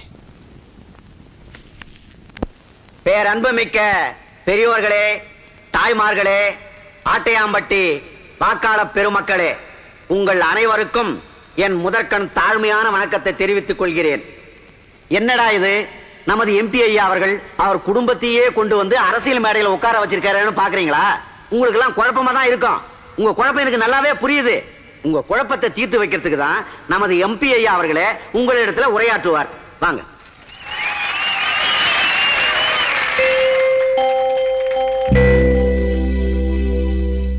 ஆட்டையாம்பட்டி வாக்காளர் பெருங்குடி மக்களுக்கு என்னுடைய முதற்கண் வணக்கம். குடும்ப பிரச்சனையுமே மேடை. வருங்கால எம்பி அவர்களுக்கு உங்கள் சார்பாக செங்காளியப்பன் இந்த மலர் மாலையை அணிவிக்கின்றேன்.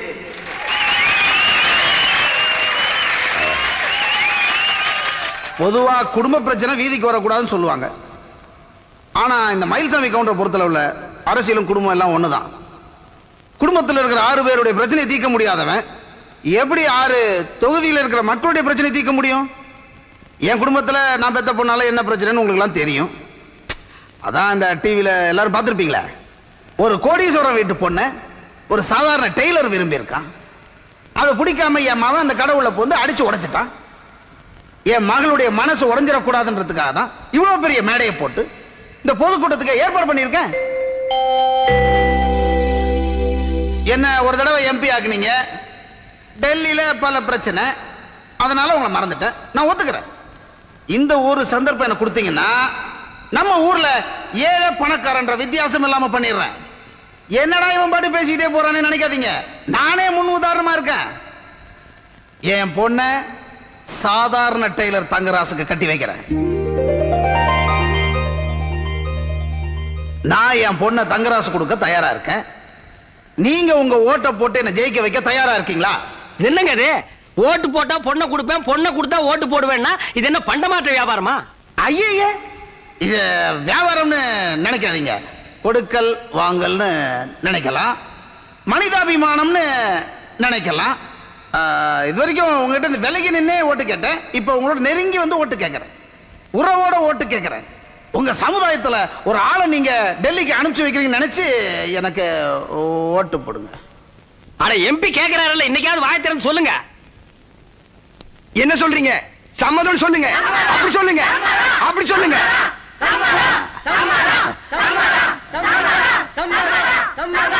அப்புறம் என்ன? மக்கள் தீர்ப்பு மகேசன் தீர்ப்பு. இதே மேடையில உங்க முன்னாடி நிச்சயதார்த்தத்தை நடத்தி முடிச்சிடுறேன். மாப்பிள மேடைக்கு வாங்க. மாப்பிள நண்பர்கள் நீங்களும் வரலாம். இத வரங்க நில்லுங்க நில்லுங்க நில்லுங்க. என்ன இப்படி அவசரப்படுறீங்க? அம்மா ஊர்ல எல்லாம் இந்த நேரத்துல எப்படி போய் தட்டு மாத்த முடியும்? அம்மா வர்றதுக்குள்ள இவன் வேற ஆளுக்கு தட்ட மாத்திருவான்பா தங்கராசி இப்ப என்ன கல்யாணம் நடந்து போச்சு. நிச்சயம் தானே? எல்லாருக்கும் முன்னால சொல்லிட்டான். இவன் அரசியல்கார இவன் பிறடுறதுக்கு முன்னால நான் போய் அமைக்கிறணும். ஆமா தங்கராஜ் புறப்படு. நீ முதல்ல வா. அம்மா வந்தா நான் பேசிக்கிறேன். தட்ட மாத்துமா வா. புறப்படுப்பா புறப்படுப்பா. யாருமா ஆடே மாட்டிக்கிட்டு இறங்க இறங்க இறங்க. இறங்க சீக்கிரம் இறங்குமா என்ன தாயம்மா? உன் பையனுக்கு நிச்சயதார்த்தம் நடக்குது. நீ எங்க இருந்து வர? என்னது? என் பையனுக்கு நிச்சயதார்த்தமா? என்னடி சொல்ற?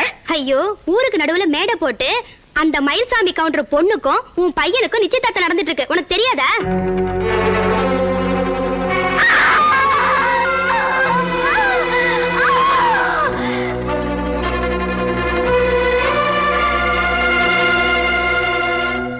பெரியோர்களே தாய்மார்களே என் பேத்திக்கு இவ்வளவு சிறப்பான முறையில் நிச்சயார்த்த ஏற்பாடு பண்ணதுக்காக என் மகன் மயில்சாமியை நினைச்சு நானே ரொம்ப பெருமைப்படுறேன். இப்போ உங்க முன்னால நாங்க தட்டை மாத்திக்க போறோம்.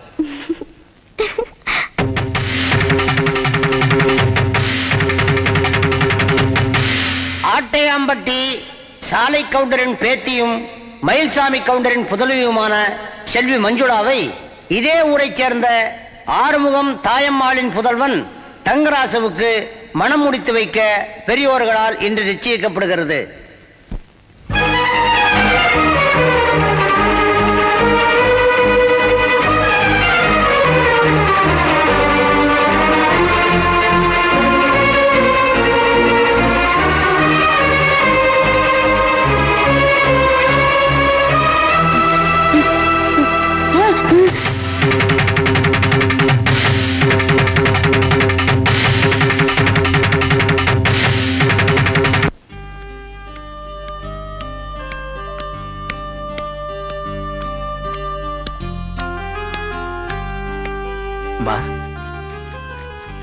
நான் மஞ்சுளா மனசார நேசிக்கிறேன்.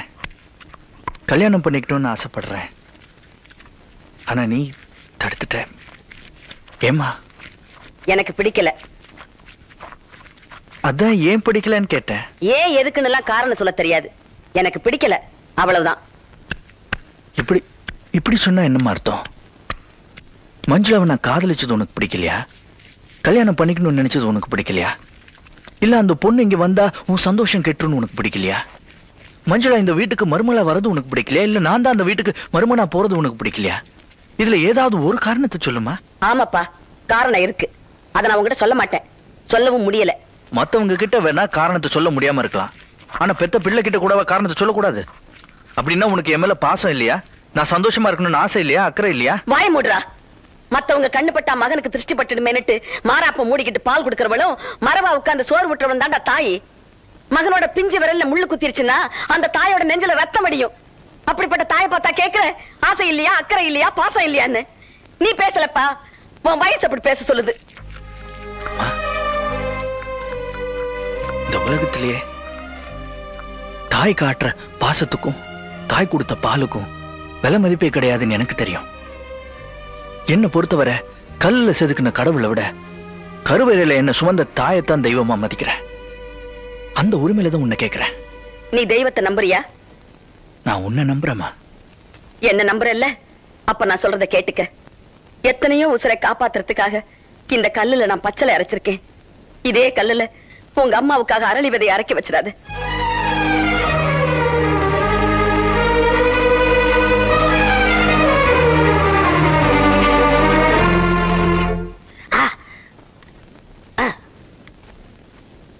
என்னங்க?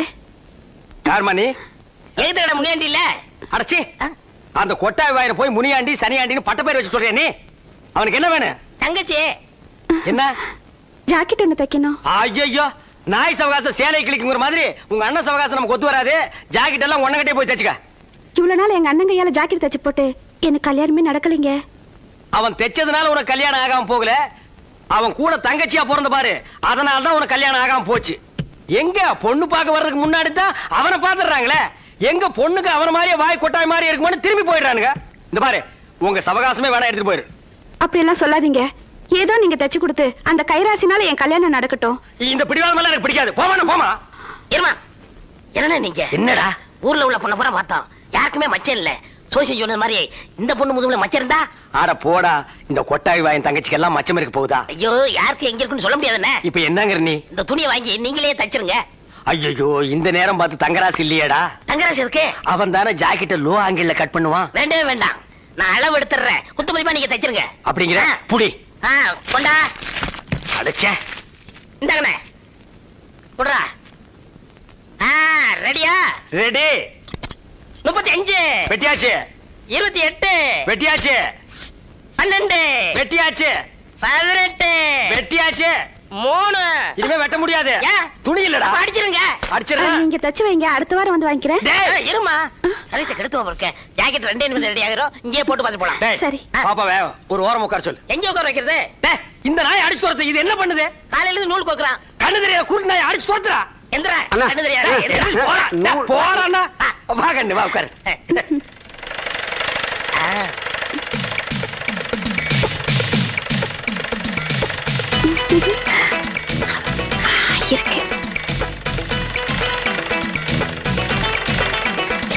பாரு.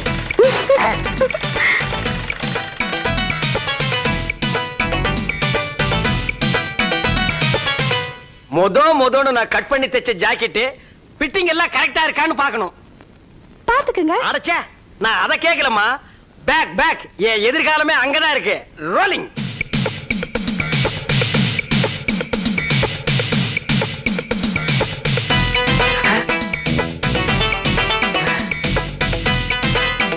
ஓ. ஓ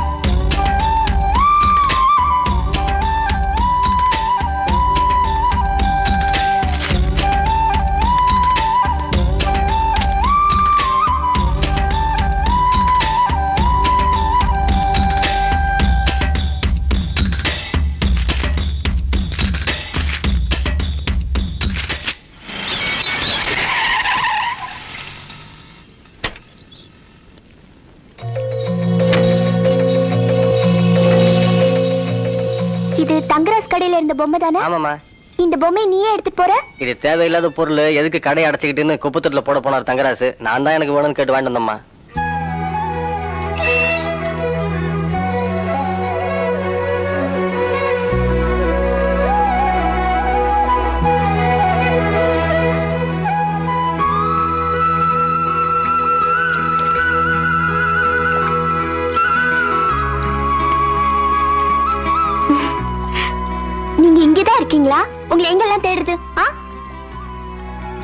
உங்களுக்கா? என்னாச்சு? ஆமா ஏன் ஞாபகமா தானே அந்த பொம்மையை வாங்கி என்ன லஞ்சு கொஞ்சிட்டு இருந்தீங்க? இப்ப ஏன் தேவையில்லாத பொருள் தூக்கி எரிஞ்சிட்டீங்க ஆ? உங்களை தானே கேக்குற. சொல்லுங்க. ஏன் ஒரு மாதிரி இருக்கீங்க? என்னங்க நில்லுங்க. ஏன் பேசாம போறீங்க? என் மேல ஏதாவது கோவமா? என்னங்க? என்னங்க?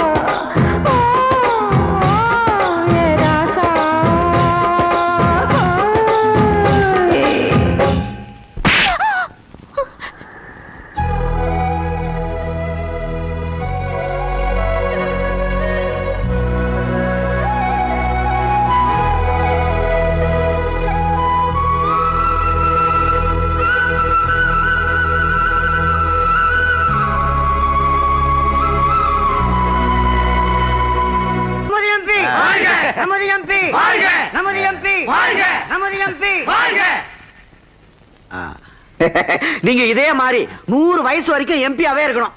அடி. ஏடா மந்திரியான ஒத்துக்க மாட்டீங்களா? தமிழனை முன்னேற விட மாட்டீங்களா?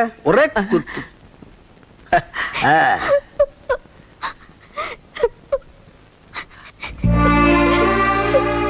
மஞ்சு மஞ்சு.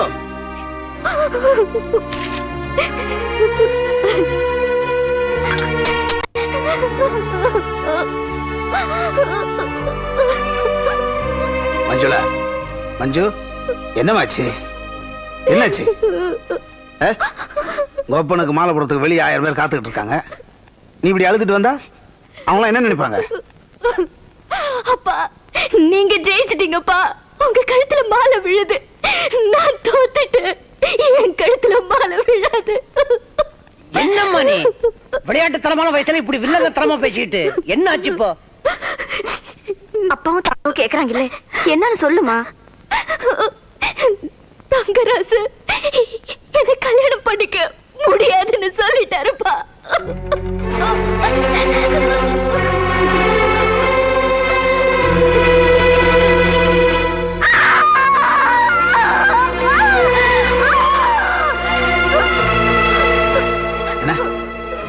வேணாம்னு சொல்லிட்டானா? காரணம் ஏதாவது சொன்னானம்மா காரணம் கேட்டப்பா. அதுக்கு அவரு ஒண்ணுமே சொல்லல. அதான் டெய்லர்ல அவன் துணியை மட்டும்தான் வெட்டுவான்னு நினைச்சேன்.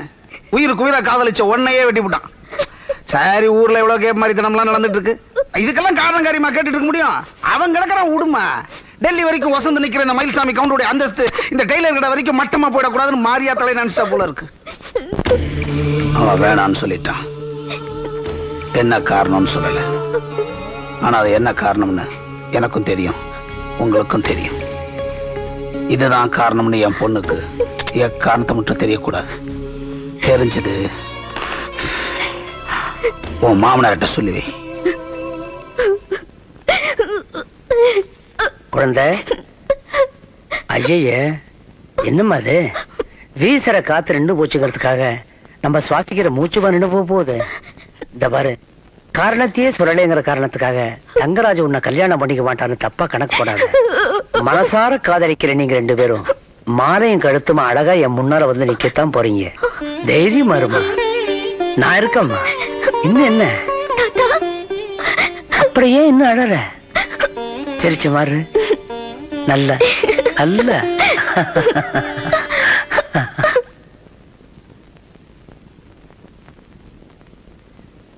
ஆ, எல்லாருமே இப்படி பேச மாதிரி எப்படி? பொண்ணுக்கு மாப்பிள்ளை பிடிச்சு போச்சு மாப்பிள்ளைக்கு பொண்ணை பிடிச்சு போச்சு அப்புறம் என்ன? முக்கியமான விஷயம் எல்லாம் பேசணுமல்ல பொண்ணுக்கு இவங்க நகை நட்டு எவ்வளவு போடுவாங்க சீர்வரிசை என்ன செய்வாங்க அப்படிங்கறத கட் அண்ட் ரைட்ட பேசிடணுமல்ல ஏன்னா உங்க தங்கச்சிக்கு நீங்க என்ன செய்வீங்க? என் தங்கச்சிக்குன்னு ஒரு பைசா சீரு நான் செய்ய மாட்டேன். என் தங்கச்சியை கொடுப்பேன். அதுக்கு அந்த மாப்பிள்ளை எனக்கு என்ன தர்றான்னு கேட்டு சொல்லு. என்ன குப்புனு வேத்துருச்சு மின்னல் மாதிரி பளிர்னு அடிச்சிட்டானடா. அண்ணே, சும்மா இருக்கண்ணே. முனியாண்டி என்ன? மாப்பிள்ளைகிட்ட நீங்க என்ன எதிர்பார்க்கறீங்க? இருபத்தி எட்டாயிரத்தி எழுநூத்தி ஐம்பது ரூபாய் பணமும் ரெண்டு ஏக்கர் காடும் வேணும்.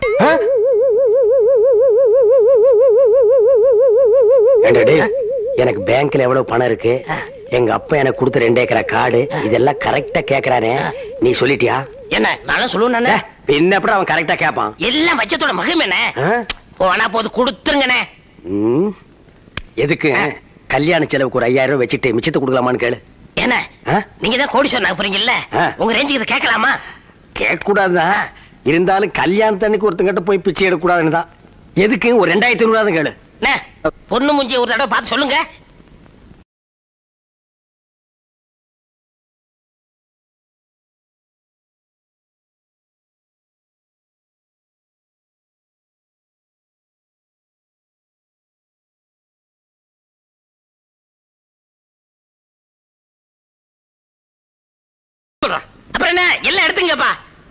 முடிஞ்சே போச்சு. என்ன? பையன் தான் அப்புறம் கல்யாணத்தை போச்சுக்கலாம் நீதான் அவனை உட்கார வச்சு மொத்தமா முடிச்சிட்டிய.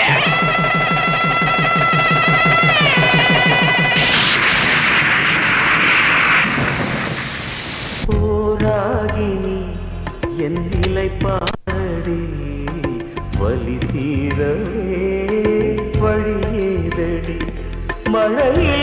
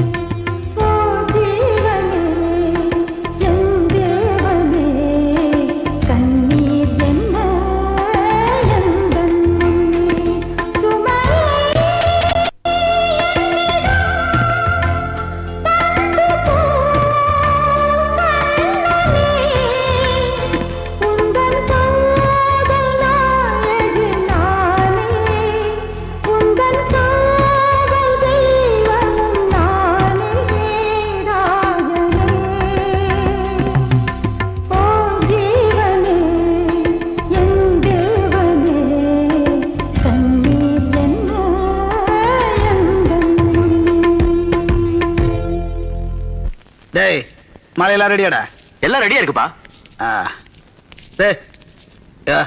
நீ யாரு? Local MLA.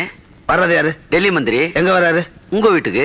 நீ என்ன குறுக்க நடுக்க நடந்துட்டு இருக்க சகுனம் சரியில்லைன்னு திரும்பி போயிட்டாருன்னா நான் ரெண்டு பேரும் டெல்லிடா? நீ உள்ளூர் தானே? போ அப்படி போய் ஓரத்துல நில்லு.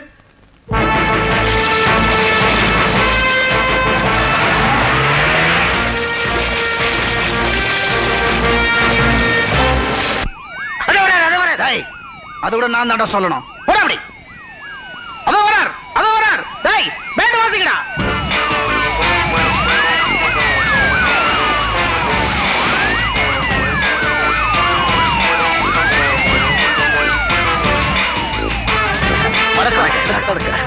வீட்டுக்கு வந்து ரொம்ப சந்தோஷம் டேய் அந்த மலை கொண்டா மலை கொண்டா ஐயா நான் போய் அப்படி போனா கழுடா கொலை உழுங்க போ வாப்பா போடு ஆயிரத்தி ஐநூறு ரூபாய் காஞ்சிபுரத்துல இருந்து வாங்கிட்டு வந்தது இந்த மலை கொண்டா ஆயிரத்தி ஐநூறு கொடுத்து ஐய், உனக்கு சொல்லாத போடு வா வா வா வா. ஆ, போடு போடு விடுவாங்க. கொண்டா வா, ஆயிரத்தி ஐநூறு ஆ. ஆ, அவனை பிடி ஆ, ஆ, ஆ, ஏம்மா, கீழே ஆ, கும்பம் கும்பம் கும்பம் திரும்ப திரும்ப திரும்ப. கும்பத்தோட வீட்டுக்கு கூட்டு போறோம். ஒரே தடவை போட்டுறேன். ஏய்,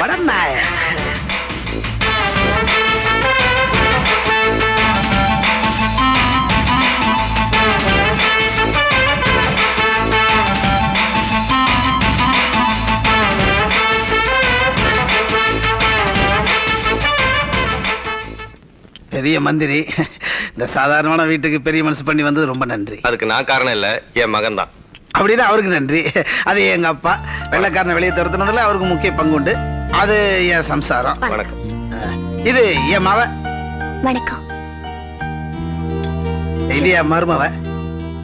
இது என் மகன் ஹலோ பாக்குறதுக்கு முரடனா இருப்பான் நல்லவன் இது என் சம்சாரம். அப்படியா? அது என் மகன் வணக்கம் நல்லா இருக்காரு. ஹிந்தி நடிகர் மாதிரி இருக்காரு. சாப்பிடுங்க.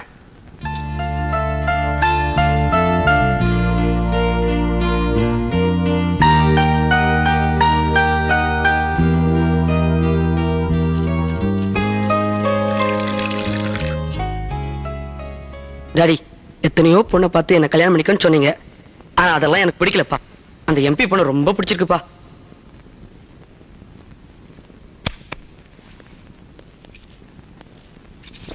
உட்காருங்க. மயில்சாமி எனக்கு எதையுமே ஸ்ட்ரைட்டா பேசிதான் பழக்கம். தெரியுங்களே இத்தனை நாளா கல்யாணமே பண்ணிக்க மாட்டேன்னு சொல்லிட்டு இருந்த என் பையன். உன் பொண்ணை பார்த்த உடனே கல்யாணம் பண்ணிக்கிறேன்னு சொல்றான்ப்பா. என்ன சொல்ற? என்ன சொல்ற? சரி. சரி. ஒரு வாரம் டைம் தரேன். நல்லா யோசிச்சு உன் முடிவை சொல்லு. என்ன? எனக்கு டைம் ஆச்சு. நான் கிளம்புறேன். ஓகே? ஆண்டவா அண்ணனுக்கு நல்லபடியா நல்ல காரியம் நடக்கணும். வாங்க. யார் பேருக்கு அர்ச்சனை ரெண்டு பேர் பேருக்கும் பண்ணுங்க. சரி. கோவிந்தசாமி கண்ணம்மா. சரி.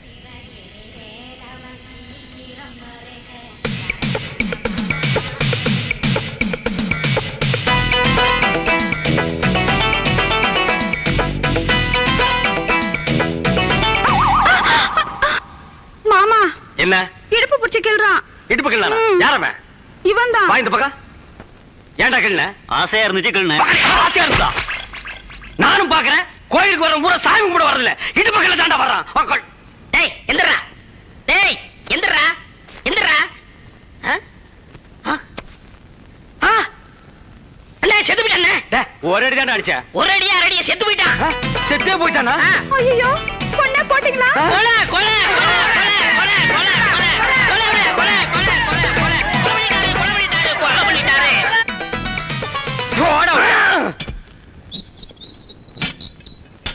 பாவிங்களா மச்சமுள்ள பொண்ணா பார்த்து கல்யாணம் பண்ணா நீ இருக்க வேண்டிய இடமே வேறேன்னு சொன்னானே அது இந்த இடம் தானா மாமியார் இல்லாத பொண்ணா பார்த்து கட்டின கடைசியில மாமியார் வீட்டுக்கே கொண்டு வந்து விட்டானுங்களே. இப்ப மட்டும் அந்த ஜோசி என் கையில கிடைச்சா? குழந்தாய். கரடி பரதேசி நாயே நீ இங்கேயா இருக்க? கோபப்படாதே குழந்தாய். விதி யாரிடம் விளையாடும்? எப்போது விளையாடும்? எப்படி விளையாடும் என்பது யாருக்குமே தெரியாது. விதி இனிமே விளையாடாதடா. இனிமே நான் உங்ககிட்ட விளையாட போறேன். நீ எப்படா இங்க வந்த? ஜனங்களுக்கு மத்தியில மூக்குல லிங்கம் வரவழைக்கிறதா சொன்னேன். வந்துதா? முக்கி முக்கி பார்த்தேன் வரலையே. முக்குனா லிங்கம் வராதுடா. வேற வரும். இப்ப வருது பாரு. லிங்கம் வந்துச்சா? வந்தது. வேற என்ன வந்தது? மூக்குல இருந்து ரத்தம் தான் வரும். லிங்கம் சிங்கம் எல்லாம் மூக்குல இருந்து வராது. முதுமலை காட்டுக்குள்ள இருந்து தான் வரும். சாமியார் வேஷம் போட்டு ஊரை ஏமாத்திரியாடா அட பொண்ணை குடுக்கறதுக்கு ஏங்க இப்படி யோசிக்கிறீங்க? ஓஹோ அன்னைக்கு ஆயிரம் பேருக்கு மத்தியில மேடைய போட்டு அந்த டெய்லர் பையனுக்கு பொண்ணை கொடுக்கணும்னு வாக்குறுதி கொடுத்துட்டுமே அப்படின்னு பாக்குறீங்களா? அட எலெக்ஷன் நேரத்துல நம்ம ஆயிரம் வாக்குறுதி தான் கொடுக்குறோம். அதெல்லாம் நிறைவேற்றிடுமா சம்மதம்னு சொல்லுங்க. அப்பா மத்திய மந்திரிய வீடு தேடி வந்து பொண்ணு கேக்குறாரு. அதுக்கே மூஞ்சி உம்முன்னு வச்சிருக்கீங்க. சம்மதம்னு சொல்லுங்கப்பா. ஏங்க ஒழுங்கா பிளாட்பாரத்துக்கே வராத ரயிலு கவுண்டர் விட்டு புழக்கடைக்கே வரேன்னு சொல்லும் போது எங்க வேணான்னு சொல்றீங்க? சம்மதம் சொல்லுங்க. நீங்க பாருங்க எம்பினா ஆறு தொகுதியில மட்டும்தான் செல்வாக்கு. மந்திரி ஆயிட்டுன்னு வச்சுக்கோங்க. இந்தியா முழுக்க செல்வாக்குப்பா. கல்யாணத்துக்கு ஒத்துக்குங்கப்பா. ஏங்க இந்த டெய்லர் பையனுக்கும் ஜனங்களுக்கும் நாம ஏங்க பயப்படணும்? மந்திரி பையனுக்கு பொண்ணை கொடுத்துட்டீங்களா நாம டெல்லியிலேயே செட்டில் ஆயிடலாம். நான் கூட டெல்லி பார்த்ததே இல்லைங்க. நீங்க மத்திய மந்திரி ஆயிட்டீங்களா நான் எம்பி ஆயிடுவேன். நீங்க பிரதம மந்திரி ஆயிட்டா நான் ரயில்வே மந்திரி ஆயிடுவேங்க. சம்மதம் சொல்லுங்க. ஏங்க சம்மதம் சொல்லுங்க.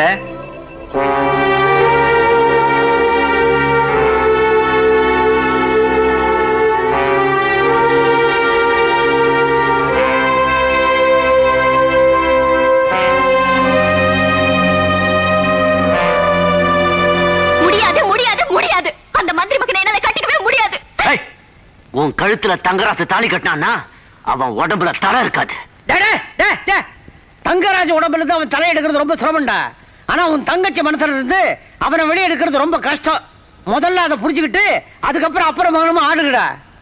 ஏ கேடு நீ வெள்ளக்காரன் கையிலயும் சாவாம வயசாயும் சாவாம நடு நடுவுல பேசி ஏன் எங்களை சாவடிக்கிற? ஆ?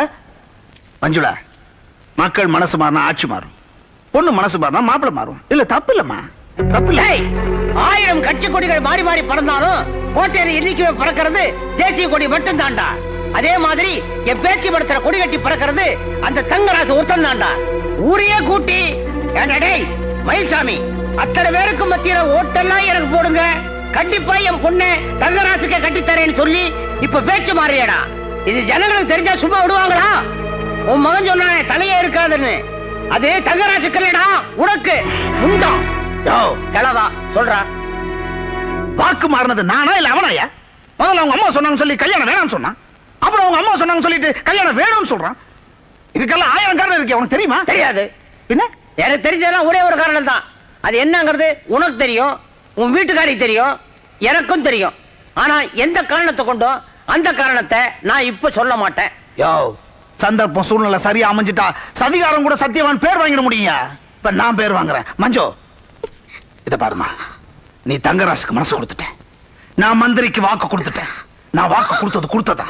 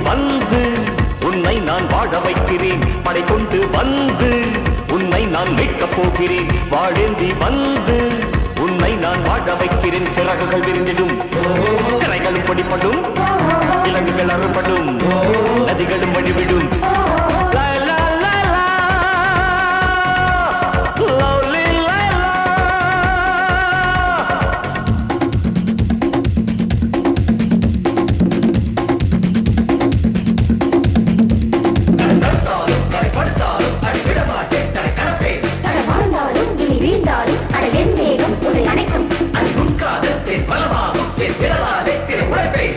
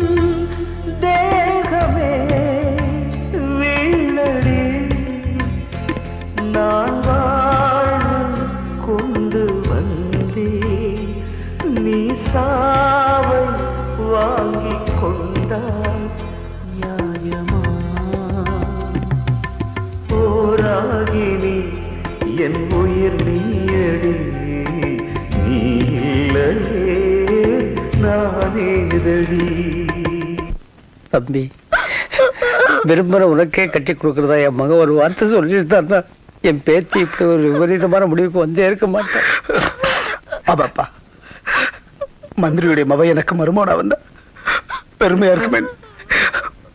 மஞ்சுளாவை கட்டாயப்படுத்தினது. எவ்வளவு பெரிய தப்பு இப்ப புரியுது. தகராசு உடனே மறந்துட்டு மந்திரியுடைய மௌன கட்டிக்கல நான் இந்த விஷத்தை குடிச்சிருவேன் அவளும் மிரட்ட ஆனா அவ இந்த விஷத்தை குடிச்சிட்டு செத்துருவான் நான் எதிர்பார்க்கலப்பா. எதிர்பார்க்கலப்பா.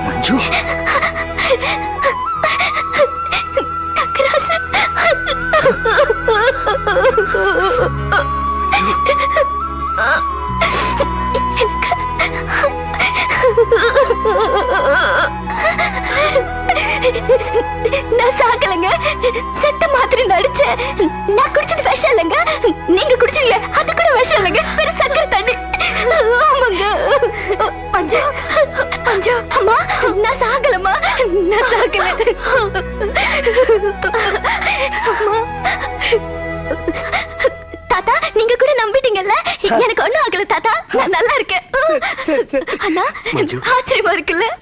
நான் சாகலண்ணா அம்மா நீ தப்பா என்ன கோவத்தோட ஏத்துட்டு போனாருல்ல? அங்க என்ன நடந்தது தெரியுமா? அப்பா ப்ளீஸ் பா. வேண்டாப்பா. ஐயோ. மஞ்சுளா உங்க அப்பா ஆயிரம் முரடனா இருந்தாலும் நீ எனக்கு ஒரே பொண்ணுமா? நீ நல்லா இருக்கணும் தான் நான் ஆசைப்படுவேன். நீ கெட்டு போட்டு ஆசைப்படுவேனா? தயவுசெய்து எனக்காக தங்கராசமா இருந்தது இல்லப்பா என்னால அவரை மறக்க முடியாது இத பாருமா பத்தாயிரம் பேருக்கு முன்னாடி சத்தியம் பண்ணி கொடுத்துவோமா உங்க அப்ப? உன்னை தங்கராசுக்கு தான் கட்டி வைப்பேன்னு. ஆனா நான் என் பேச்சு மாறினேன். ஏன்னா அவன் பேச்சு மாறினான். அதனாலதான் சொல்றேன் தங்கராசு மறந்துருமா? நீங்க ஆயிரம் சொன்னாலும் சரி என்னால அவரை மறக்க முடியாது. நான் உனக்கு தனி ரயில் வாங்கி கொடுத்து அந்த டெல்லிக்கே மகாராணி ஆக்கணும்னு ஆசைப்படுறேன். ஆனா நீ அன்ரிசர்வ்ட்ல ஏறணும்னு ஆசைப்படுறேன். நீங்க எனக்கு ரயிலே வாங்கி கொடுத்தாலும் சரி அந்த டெல்லிக்கு என்ன மகாராணி ஆக்கினாலும் சரி இந்த நாட்டை என் பேர்ல எழுதி வச்சாலும் சரி எனக்கு அதெல்லாம் வேண்டாம். எனக்கு தங்கராசு மட்டும் தான் வேணும். அவன் நல்லவன் இல்ல. அவன் ஒண்ணு விரும்பல. உன் பணத்தை விரும்புறான் உன் செல்வாக்க விரும்புறான். நீங்க போய் சொல்றீங்க அவர் என்ன தான் விரும்புறாரு? எனக்காக அவர் உயிரை கொடுப்பாரு. அவன் உனக்காக உயிரை கொடுப்பான்றத நான் எப்படி நம்புறது? உங்களை எப்படி நம்ப வைக்கணும்? நாளைக்கு நீ சாகுற. அப்பா? சாவற மாதிரி நடிக்கிற. நீ செத்ததை கேள்விப்பட்டு அவன் ஓடி வந்து நீ எப்படி செத்தன்னு கேட்பான் நான் ஒரு பாட்டில் எடுத்து காமிச்சு இதுல இருக்கிற பாதி விஷத்தை குடிச்சுதான் நீ செத்து போயிட்டேன்னு சொல்லி இந்த பாட்டில் அவன் கண்ணில் படுற மாதிரி வைப்பேன். அதுல சக்கரை தண்ணி மட்டும்தான் இருக்கும். அதை பார்த்துட்டு அவன் அழுதுட்டு திரும்பி போயிட்டான். அவன் உனக்காக அவன் உயிரை கொடுக்க மாட்டான்னு அர்த்தம். அப்புறம் நான் சொல்ற அமைச்சர் பையனை தான் நீ கல்யாணம் பண்ணணும். ஒருவேளை அதை எடுத்து அவர் குடிச்சிட்டாருன்னா? நீ சொல்ற தங்கராசை நான் கட்டி வைக்கிறேன். நான் சொல்றேன்ப்பா. நான் செத்துட்டேன்னு தெரிஞ்ச உடனே அவர் என்ன பார்த்து சும்மா போக மாட்டாரு. கண்டிப்பா அதை எடுத்து குடிப்பாரு. கண்டிப்பா குடிக்க மாட்டான். குடிப்பாரு. குடிக்க மாட்டான். குடிப்பாரு குடிப்பாரு நிச்சயமா குடிப்பாரு. சரி. பாப்போம். இதோ பாரும்மா இந்த ரகசியம் உனக்கு எனக்கு மட்டும்தான் தெரியணும். அவனுக்கோ இல்ல இந்த வீட்டுல இருக்க யாருக்கும் தெரியக்கூடாது. பாப்போம். எனக்கும் எங்க அப்பாவுக்கு நடந்த போட்டியில நான் விஷம் குடிச்சு செத்துட்டா மீதி இருக்கிற விஷத்தை அவர் கண்டிப்பா குடிப்பாருன்னு சொன்னேன். ஆனா எங்க அப்பா நம்பல. நான் சொன்ன மாதிரி அவர் விஷத்தை எடுத்து குடிச்சிட்டாரு. நாங்க ஜெயிச்சிட்டோம் தாத்தா. நாங்க ஜெயிச்சிட்டோம். அப்பா நாங்க ஜெயிச்சிட்டோம்ப்பா. என்னங்க நம்ம ஜெயிச்சிட்டோங்க? என்னங்க? என்னங்க? என்னங்க? ஐயோ என்னங்க? ஏதாவது பேசுங்க. ஐயோ! ரத்தம்! ஐயோ என்னங்க? ஐயோ! கடவுளே யாராவது ஏதாச்சும் வந்து பாருங்க. என்னங்க என்னங்க? அப்பா. என்னங்க எனக்கு பயமா இருக்கு. பேச மாட்டாங்க அண்ணே. அவன் குடிப்பான் எனக்கு தெரியும். அதனாலதான் ஒரு சின்ன தப்பு நடந்துருச்சு. இந்த சக்கரை தண்ணிக்கு பதிலா நான் உண்மையான விஷத்தை வச்சு விட்டேன் என்ன சொன்ன? என்ன சொன்ன? பாவி. பெத்த மகன் கூட பார்க்காம உன் அரசியல் புத்தி என்கிட்டயே காமிச்சிட்டியே. என்னைய ஏமாத்திட்டியே ஏமாத்திட்டியே. அம்மா பாத்தீங்களாம்மா தாத்தா அப்பா சொல்றது கேட்டீங்களா தாத்தா. ஐயோ மயில்சாமி நீ செய்யறது உனக்கே நியாயமா இருக்காடா? நியாயம் அநியாயம் பாக்குறதுக்கு நேரம் இல்லையா. அவன் உயிரை கொஞ்சம் கொஞ்சமா போயிட்டு இருக்கு. அவன் உயிரை காப்பாத்துறது உங்ககிட்ட தான் இருக்கண்ணே மந்திரிமா அவனை கட்டிக்கிறேன்னு சொல்லு. இப்பவே அவனை காப்பாத்துறேன். அம்மா. நீங்களாவது அப்பா கிட்ட சொல்லி அவரை காணுங்க தாத்தா நீங்களாவது சொல்லுங்க ஏண்டா அவனுக்கும் விஷத்தை கொடுத்துட்டு இவனை என்ன அணனுவா கொண்டுட்டு இருக்க? விஷத்தை மட்டும் தான் நான் கொடுத்தேன். அவன் உயிர் போறதுக்கு நீ காரணமா இருந்துடாத. சம்மதம் சொல்லு காப்பாத்துறேன். சொல்லம்மா மந்திரி பையனை கல்யாணம் பண்ணிக்கன்னு சொல்ல.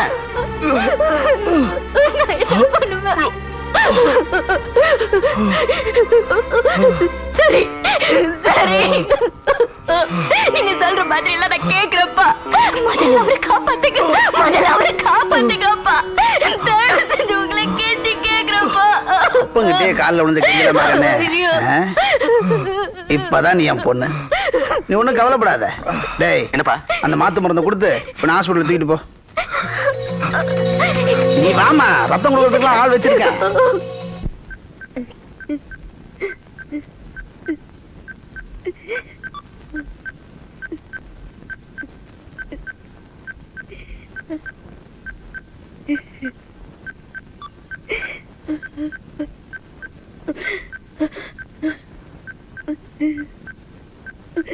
oh. எல்லாம் நார்மலா இருக்கு. பயப்படுறதுக்கு ஒண்ணு இல்ல. மூணு நாள் ரெஸ்ட் எடுக்கணும். அது போதும். நீங்க நல்லா வரமா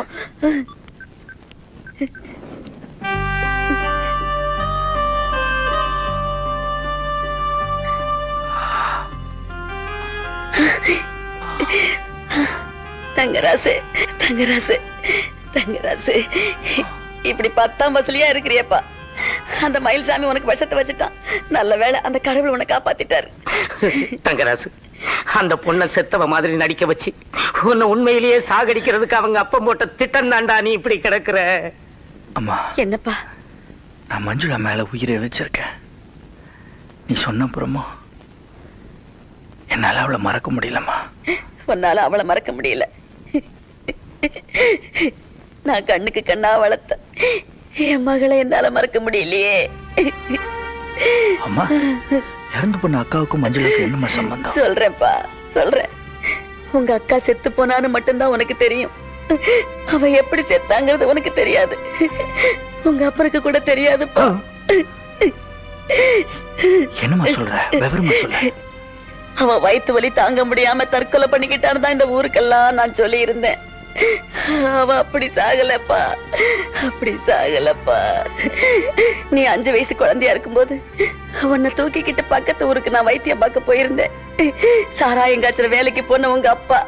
வீட்டுல தனியா இருந்த உங்க அக்காவையும் கூட்டிட்டு போனாரு. அங்கதான்ப்பா அங்கதான்ப்பா அந்த கொடுமை நடந்துச்சு. அடுப்ப எரிய விடுமா? ஏ போங்கய்யா எல்லாரும். போய் வேலையை பாருங்க சும்மா. ஆ. கஷ்டமா இருக்கா? அதெல்லாம் ஒண்ணும் இல்லப்பா. யோ ம். வாயா. கூப்பிட்டீங்களா ஐயா? யாரு? உன் பொண்ணா? ஆமாங்க ஐயா. உன் பொண்டாட்டி ஜாடையா? பார்த்தா தெரியுது. குடி. வேண்டாம் ஐயா. முதலாளியும் தொழிலாளியும் சமமா இருக்கணும்னு நினைக்கிற ஆளியா நானே? குடிய? ஏன் உன் பொண்ணை இந்த வேலைக்கெல்லாம் விட்ட? அது சொல்லு. என் பொண்டாட்டி பிரசவம் பார்க்க வெளியூர் போயிடுச்சுங்க. சரி. வீட்டுல பொண்ணு தனியா இருந்துச்சு. சரி. அதான் கையோட கூட்டியாந்துச்சு அது சரி. இதை விட பாதுகாப்பான இடம் வேற எங்க இருக்குது? நீ சாப்பிடியா? சாப்பிடு. ஆ, போதுங்க. என்ன போதும்? குடிய ஒரே ரவுண்டோட நிறுத்திட்டா உறவு படியா உறவு தொடர வேணா சாப்பிடு. சரிங்க.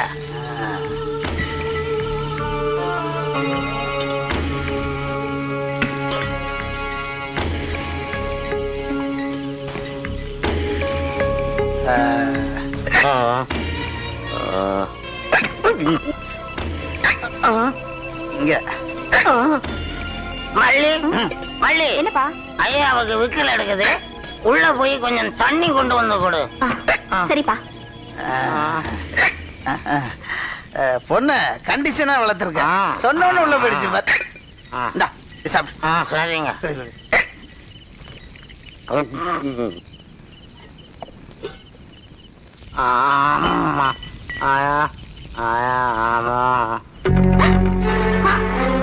ஐயா நீங்களா? நீங்க பெரியவங்க. இதெல்லாம் தப்புங்க. என்ன பொறுத்த வரைக்கும் தப்புன்னு சொல்றதே தப்பு. ஒண்ணு நான் ஒரு நாள் சுகத்துக்காக தொடல. பொண்ணை எனக்கு ரொம்ப பிடிச்சிருக்கு. வாழ்நாள் பூரா வச்சு காப்பாத்துறேன். அட கல்யாணம் பண்ணிக்கிறேன்னு சொல்றேன். அட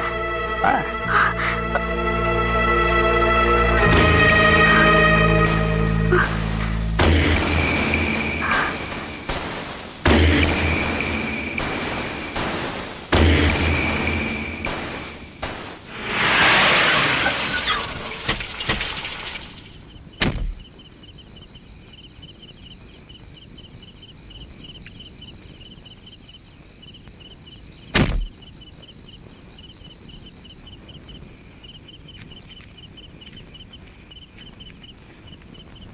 ஐயா இங்க யாருக்கோ பிரசவம் பார்க்கணும்னு கூட்டிட்டு வந்தாங்க. யாருக்கு ஐயா? பிரசவம் அது இதுன்னு பசங்க தப்பா சொல்லியிருப்பாங்க. ஒரு பொண்ணுடைய கருவை கலைக்கணும் அவ்வளவுதான். மன்னிக்கணும் தம்பி. வயித்துல இருக்க குழந்தைய காப்பாத்தத்தான் நான் மருத்துவம் கத்துக்கிட்டேன். கருவுல இருக்க குழந்தைய அழிக்கிற பாவத்தை இது வரைக்கும் நான் செஞ்சதும் இல்ல இனிமே செய்யவும் மாட்டேன். நான் வர்றேன். நில்லு தாயமா மக்கள் தேர்ந்தெடுக்கிற ஆட்சியே கலைச்சிடுறாங்க. கருவை கலைக்க ரொம்ப சொல்லணும்ல. பொண்ணு யாருன்னு பார்த்துட்டு போயேன்.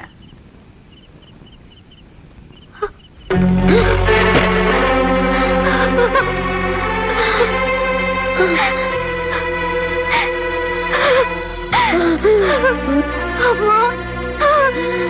ஐயோ அடி கண்டாளி அடி பாவி அடி பாவி.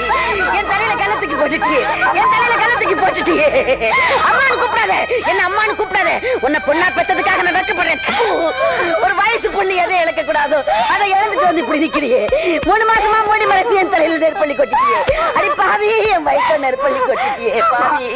என்ன கல்யாணம் பண்ணிக்கிறேன்னு சொன்னாருமா? அதை நம்பிதாமா நான் ஏமாந்துட்டேன். அரை வயசு கஞ்சியா இருந்தாலும் மானத்தோட குடிச்சுக்கிட்டு இருந்தேனே. என் மானத்தை வாங்கிட்டியே என் மானத்தை வாங்கிட்டு. உள்நாட்டு குழப்பத்தை முதல்ல நிறுத்துங்க. தாய் மகளும் கண்ணீர் விட்டு இருந்தா போதாது. நான் ஏற்கனவே ரெண்டு குழந்தைக்கு தகப்ப இவளை கல்யாணம் பண்ணிக்க சொன்னா எப்படி நான் கல்யாணம் பண்ணிக்க முடியும்? அவ கருவை கலைச்சிரு முதல்ல. அட சண்டாளா வளகாப்பு வச்சு வாரிசு தூக்க வேண்டிய இந்த கையால அவ வாரிசையே அழிக்க சொல்றீங்க நீ நல்லா இருப்பியாடா பாவி. பாவின்னு சொல்லாத. இது மாதிரி பாவத்தை செஞ்சுட்டு அவன் பரமாத்மா வாழ்ந்துட்டு இருக்கான்? உன் பொண்ணு வாழ்க்கை நல்லா இருக்கணும்னா நான் சொல்றதை செஞ்சுட்டு நீ பாவி ஆயிக்க. வேணாலும் அவளை வப்பாட்டி வச்சுக்கிறேன். பாத்தியா பாத்தியா? கல்யாணம் பண்ணிக்குவான்னு சொன்னீங்க உன்னை வப்பாட்டியா வச்சுக்கிறானா? இதெல்லாம் நான் கேட்டுக்கிட்டு நான் இன்னும் உசுரோட இருக்கிறேனே. ஐயோ இதை கேட்டுக்கிட்டு நான் இன்னும் உசுரோட இருக்கிறேனே. கடவுளே. ஐயோ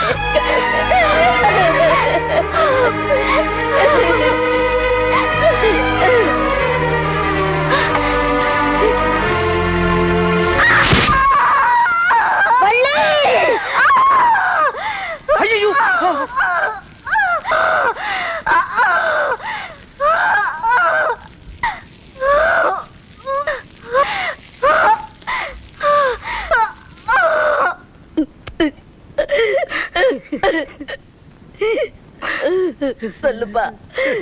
இப்ப சொல்லுப்பா. பொண்ணை கொடுத்தவங்க வீட்டுல இருந்து பொண்ணு எடுக்கலாம். பொண்ணை கெடுத்தவன் வீட்டுல இருந்து பொண்ணு எடுக்கலாமா? அதனாலதான்ப்பா நீ அந்த பொண்ணு மஞ்சளாவ மறந்துடுன்னு நான் சொன்னேன். ஆனா எப்ப அவ செத்துட்டான்னு தெரிஞ்ச உடனே நீ விஷத்தை குடிச்சியோ?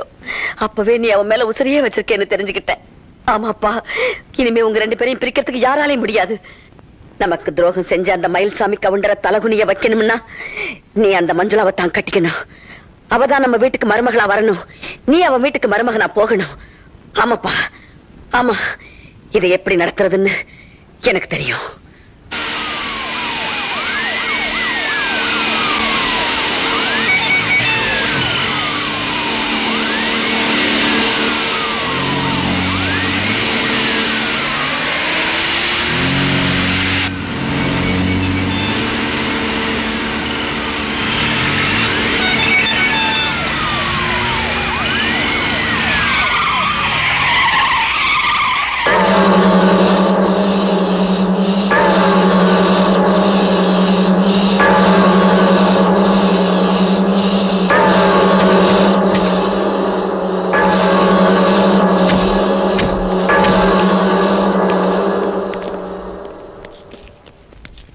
தாயம்மா என்ன ரோட்ல குறுக்க நின்னுட்டு கார் நிறுத்துற?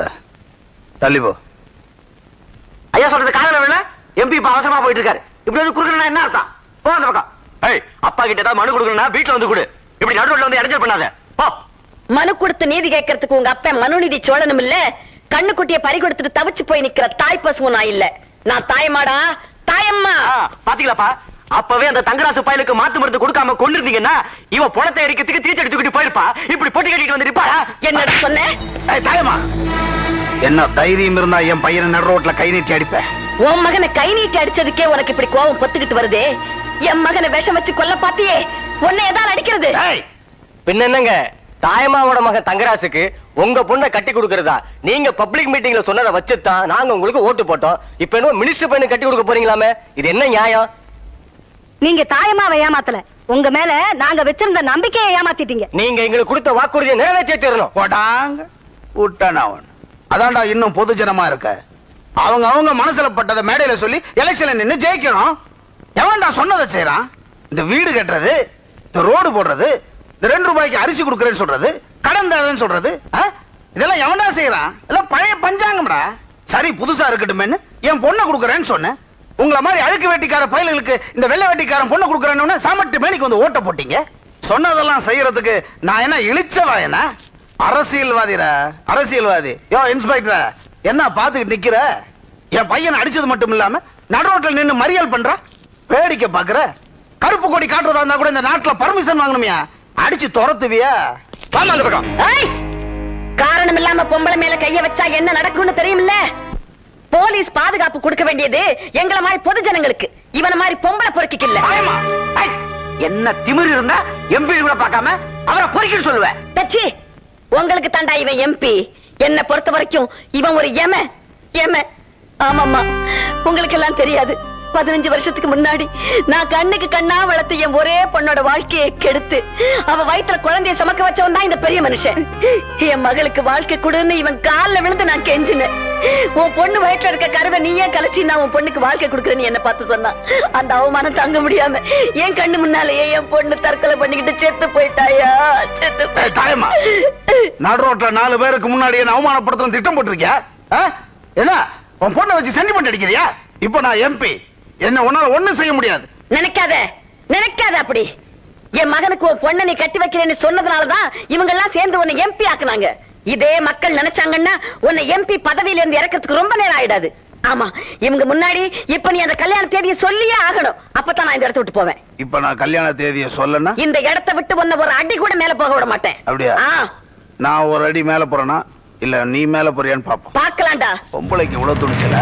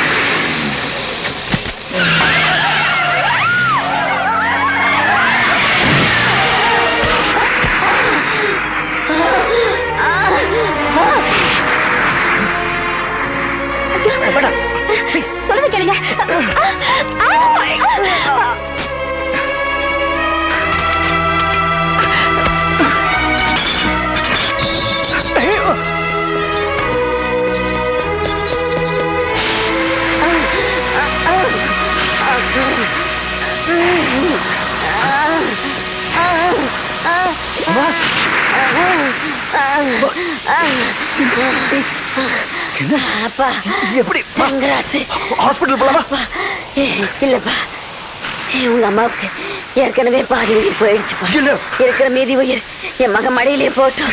இல்லவா அப்படி இல்ல சொல்லாத பாண்டி வா ஹாஸ்பிடல் போலாமா இல்லப்பா. ஒண்ணுமே சொல்லாம போயிட்டாங்கிறத விட என் மகன் கிட்ட நாலு நல்ல வார்த்தை சொல்லிட்டு போனேங்கிற பாக்கியத்தையாவது கடவுள் எனக்கு கொடுத்துருக்காப்பா.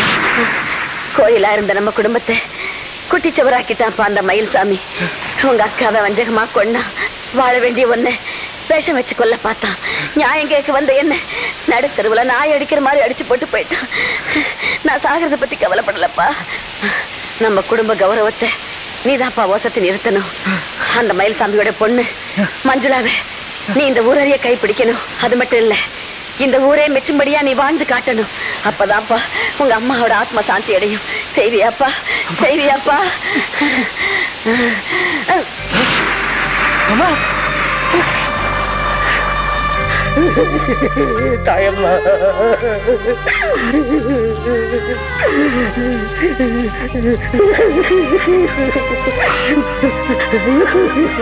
எல்லாரும் ஒரு நாளைக்கு போய் சேர்றதுதான். ஆனா தாயம்மா நம்மளை எல்லாம் விட்டு இவ்வளவு சீக்கிரமா பிரிஞ்சு போயிடக்கூடாது தம்பி. தங்கராஜ் உங்க அம்மாக்கு இப்ப நடந்து போச்சுன்னு நினைக்கும் போது எங்களுக்கெல்லாம் மனசு ரொம்ப வருத்தமா இருக்குப்பா. எங்கயா வந்தீங்க? ஆ? எங்கயா வந்தீங்க? நடு ரோட்ல எங்க அம்மாவை நாய் அடிக்கிற மாதிரி அடிச்சு போட்டப்ப எங்கயா போயிருந்தீங்க? ஆ? உயிருக்கு போராடிக்கிட்டு அவங்க துடிச்சுக்கிட்டு இருந்தப்ப அவங்கள காப்பாத்த துப்புலாதவங்க இப்ப என்ன துக்க விசாரிக்க வந்தீங்களா? உங்கள எத்தனை பேருக்கு மருத்துவம் பார்த்திருப்பாங்க எங்க அம்மா? அவங்க உயிரை காப்பாத்துறதுக்கு ஒருத்தனு கூட தைரியம் இல்லாம போயிடுச்சு ஏயா உங்க வீட்டுல உங்க அம்மாவுக்கு இப்படி ஆயிருந்தா பார்த்து சும்மா இருந்திருப்பீங்களா? மனுஷனா பிறந்துட்டு இங்க போனமா வந்து நிக்கிறீங்களா உங்களுக்கு எல்லாம் வெக்கமா இல்ல? அந்த மைசாமி கவுண்டர் எங்க அம்மாவை கொல்லல. நீங்களா சேர்ந்து அவங்கள கொண்டுட்டீங்க அவங்க உடம்புக்கு தான் நான் இப்ப தீ வச்சிருக்கேன். அவங்க உயிருக்கு நேத்த நீங்களா சேர்ந்து தீ வச்சிட்டீங்க. உயிரோட இருக்கும்போது விட்டுருங்க. சேர்த்தப்புறம் அவங்க பெருமையெல்லாம் பேசுங்க. எதுக்கு ஒண்ணு சேரணுமோ? அதுக்கு சேராதீங்க. கல்யாணம் கருமாதினா சோத்து கலையிற கும்பத்தானே நீங்க. இப்படி மாறா தெரியற நீங்க என்னைக்கு நான் மனுஷனா மாற போறீங்க? ஊர்க்காரங்களுக்கு பிரச்சனைனா உயிரை கொடுக்க கூட தயங்க மாட்டாங்க ஆட்டையம்பட்டிக்காரங்க நான் நினைச்சது தப்பா போச்சு. எங்க பிரச்சனையை நாங்களே பாத்துக்கிறோம் நீங்க யாரும் எங்களுக்கு தேவையில்லை. போங்க போங்க இங்க இருந்து மாமா!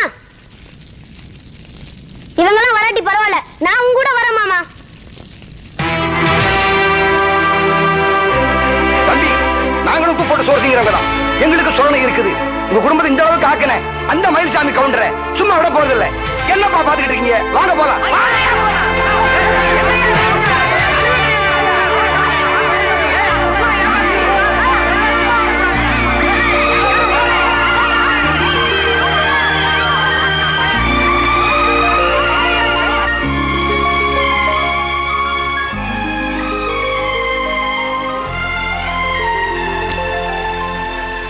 சீக்கிரம் ஆடுமா? எக்ஸ்கியூஸ் மீ சார் மயில்சாமி கவுண்டருக்கு ஃபோன் போட சொன்னீங்கல்ல. லைன்ல இருக்கார் சார் ஓ. ஹலோ ஹலோ ஆ வணக்கம். சொல்லுங்க. வணக்கம் மயில்சாமி. எங்க இருந்து பேசுறீங்க? நான் நம்ம ஊருக்கு வெளியே இருக்கிற கேம்ப் சைட்ல இருந்து பேசுறேன். கேம்ப் சைட்ல இருந்தா என்ன நீங்க? வந்தவங்க இங்க வந்திருக்க வேண்டியதானே நான் வரலாம் தான் நினைச்சேன் மயில்சாமி. ஆ? இல்ல இங்க ஆத்துல தண்ணி நிறைய ஓடுதான். ஊருக்குள்ள கார்ல வர முடியாதுன்னு செக்யூரிட்டி ஆளுங்க எல்லாம் சொல்றாங்க. ஆமா அதான் கேம்ப்லயே ரெஸ்ட் எடுத்துட்டேன். அட ஏங்க நீங்க நம்ம ஊர்ல வந்து கவலைப்படுறீங்க? நான் போட்ட ஏற்பாடு பண்றேன். அதுல வந்துருங்க. சரி ஒரு முக்கியமான விஷயம். எனக்கு இமீடியட்டா ஃபாரின் போற ப்ரோக்ராம் இருக்கு. அதனால நிச்சயதார்த்தத்தையும் கல்யாணத்தையும் இங்கேயே முடிச்சுக்கிட்டு அதுக்கப்புறம் நான் ஃபாரின் போலான்னு இருக்கேன். என்ன சொல்ற? ஓகே அப்ப நீங்க எல்லாம் ரெடி பண்ணிக்கோங்க.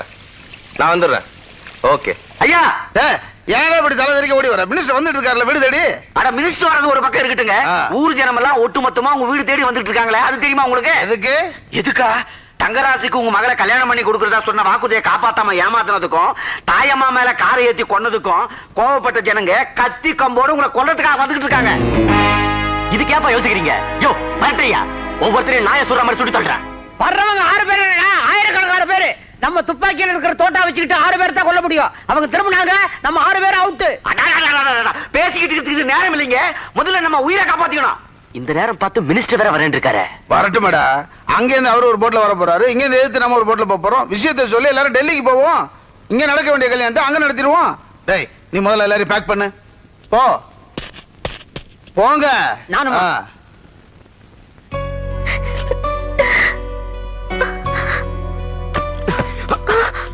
மஞ்சு வா போலாம்.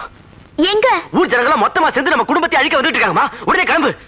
உயிருக்கு பயந்து ஊரை விட்டு ஓடுறதுக்கு நானும் உங்களை மாதிரி கோழை இல்ல. நான் வர முடியாது. இன்னொருத்தருக்கு வாழ்க்கப்பட்டு சாகிறத விட அப்பாவுக்கு ஓட்டு போட்ட ஜனங்க கையால அடிபட்டு சாகுறேன் இப்ப நீ கூட வரல? என் கையால அடிபட்டு சத்துருவ. உடனே கிளம்பு. முடியாது. என்ன விடு. நான் வர மாட்டேன். நான் வர மாட்டேன். சீக்கிரமா.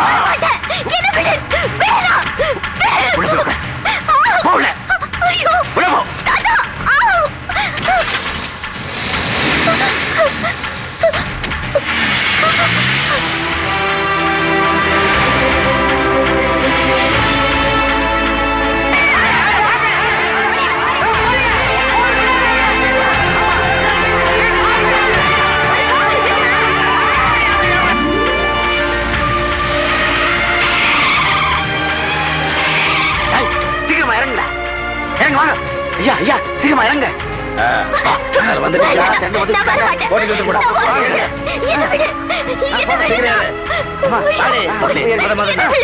கூட்டிட்டு போ, போட்டு ஏறு.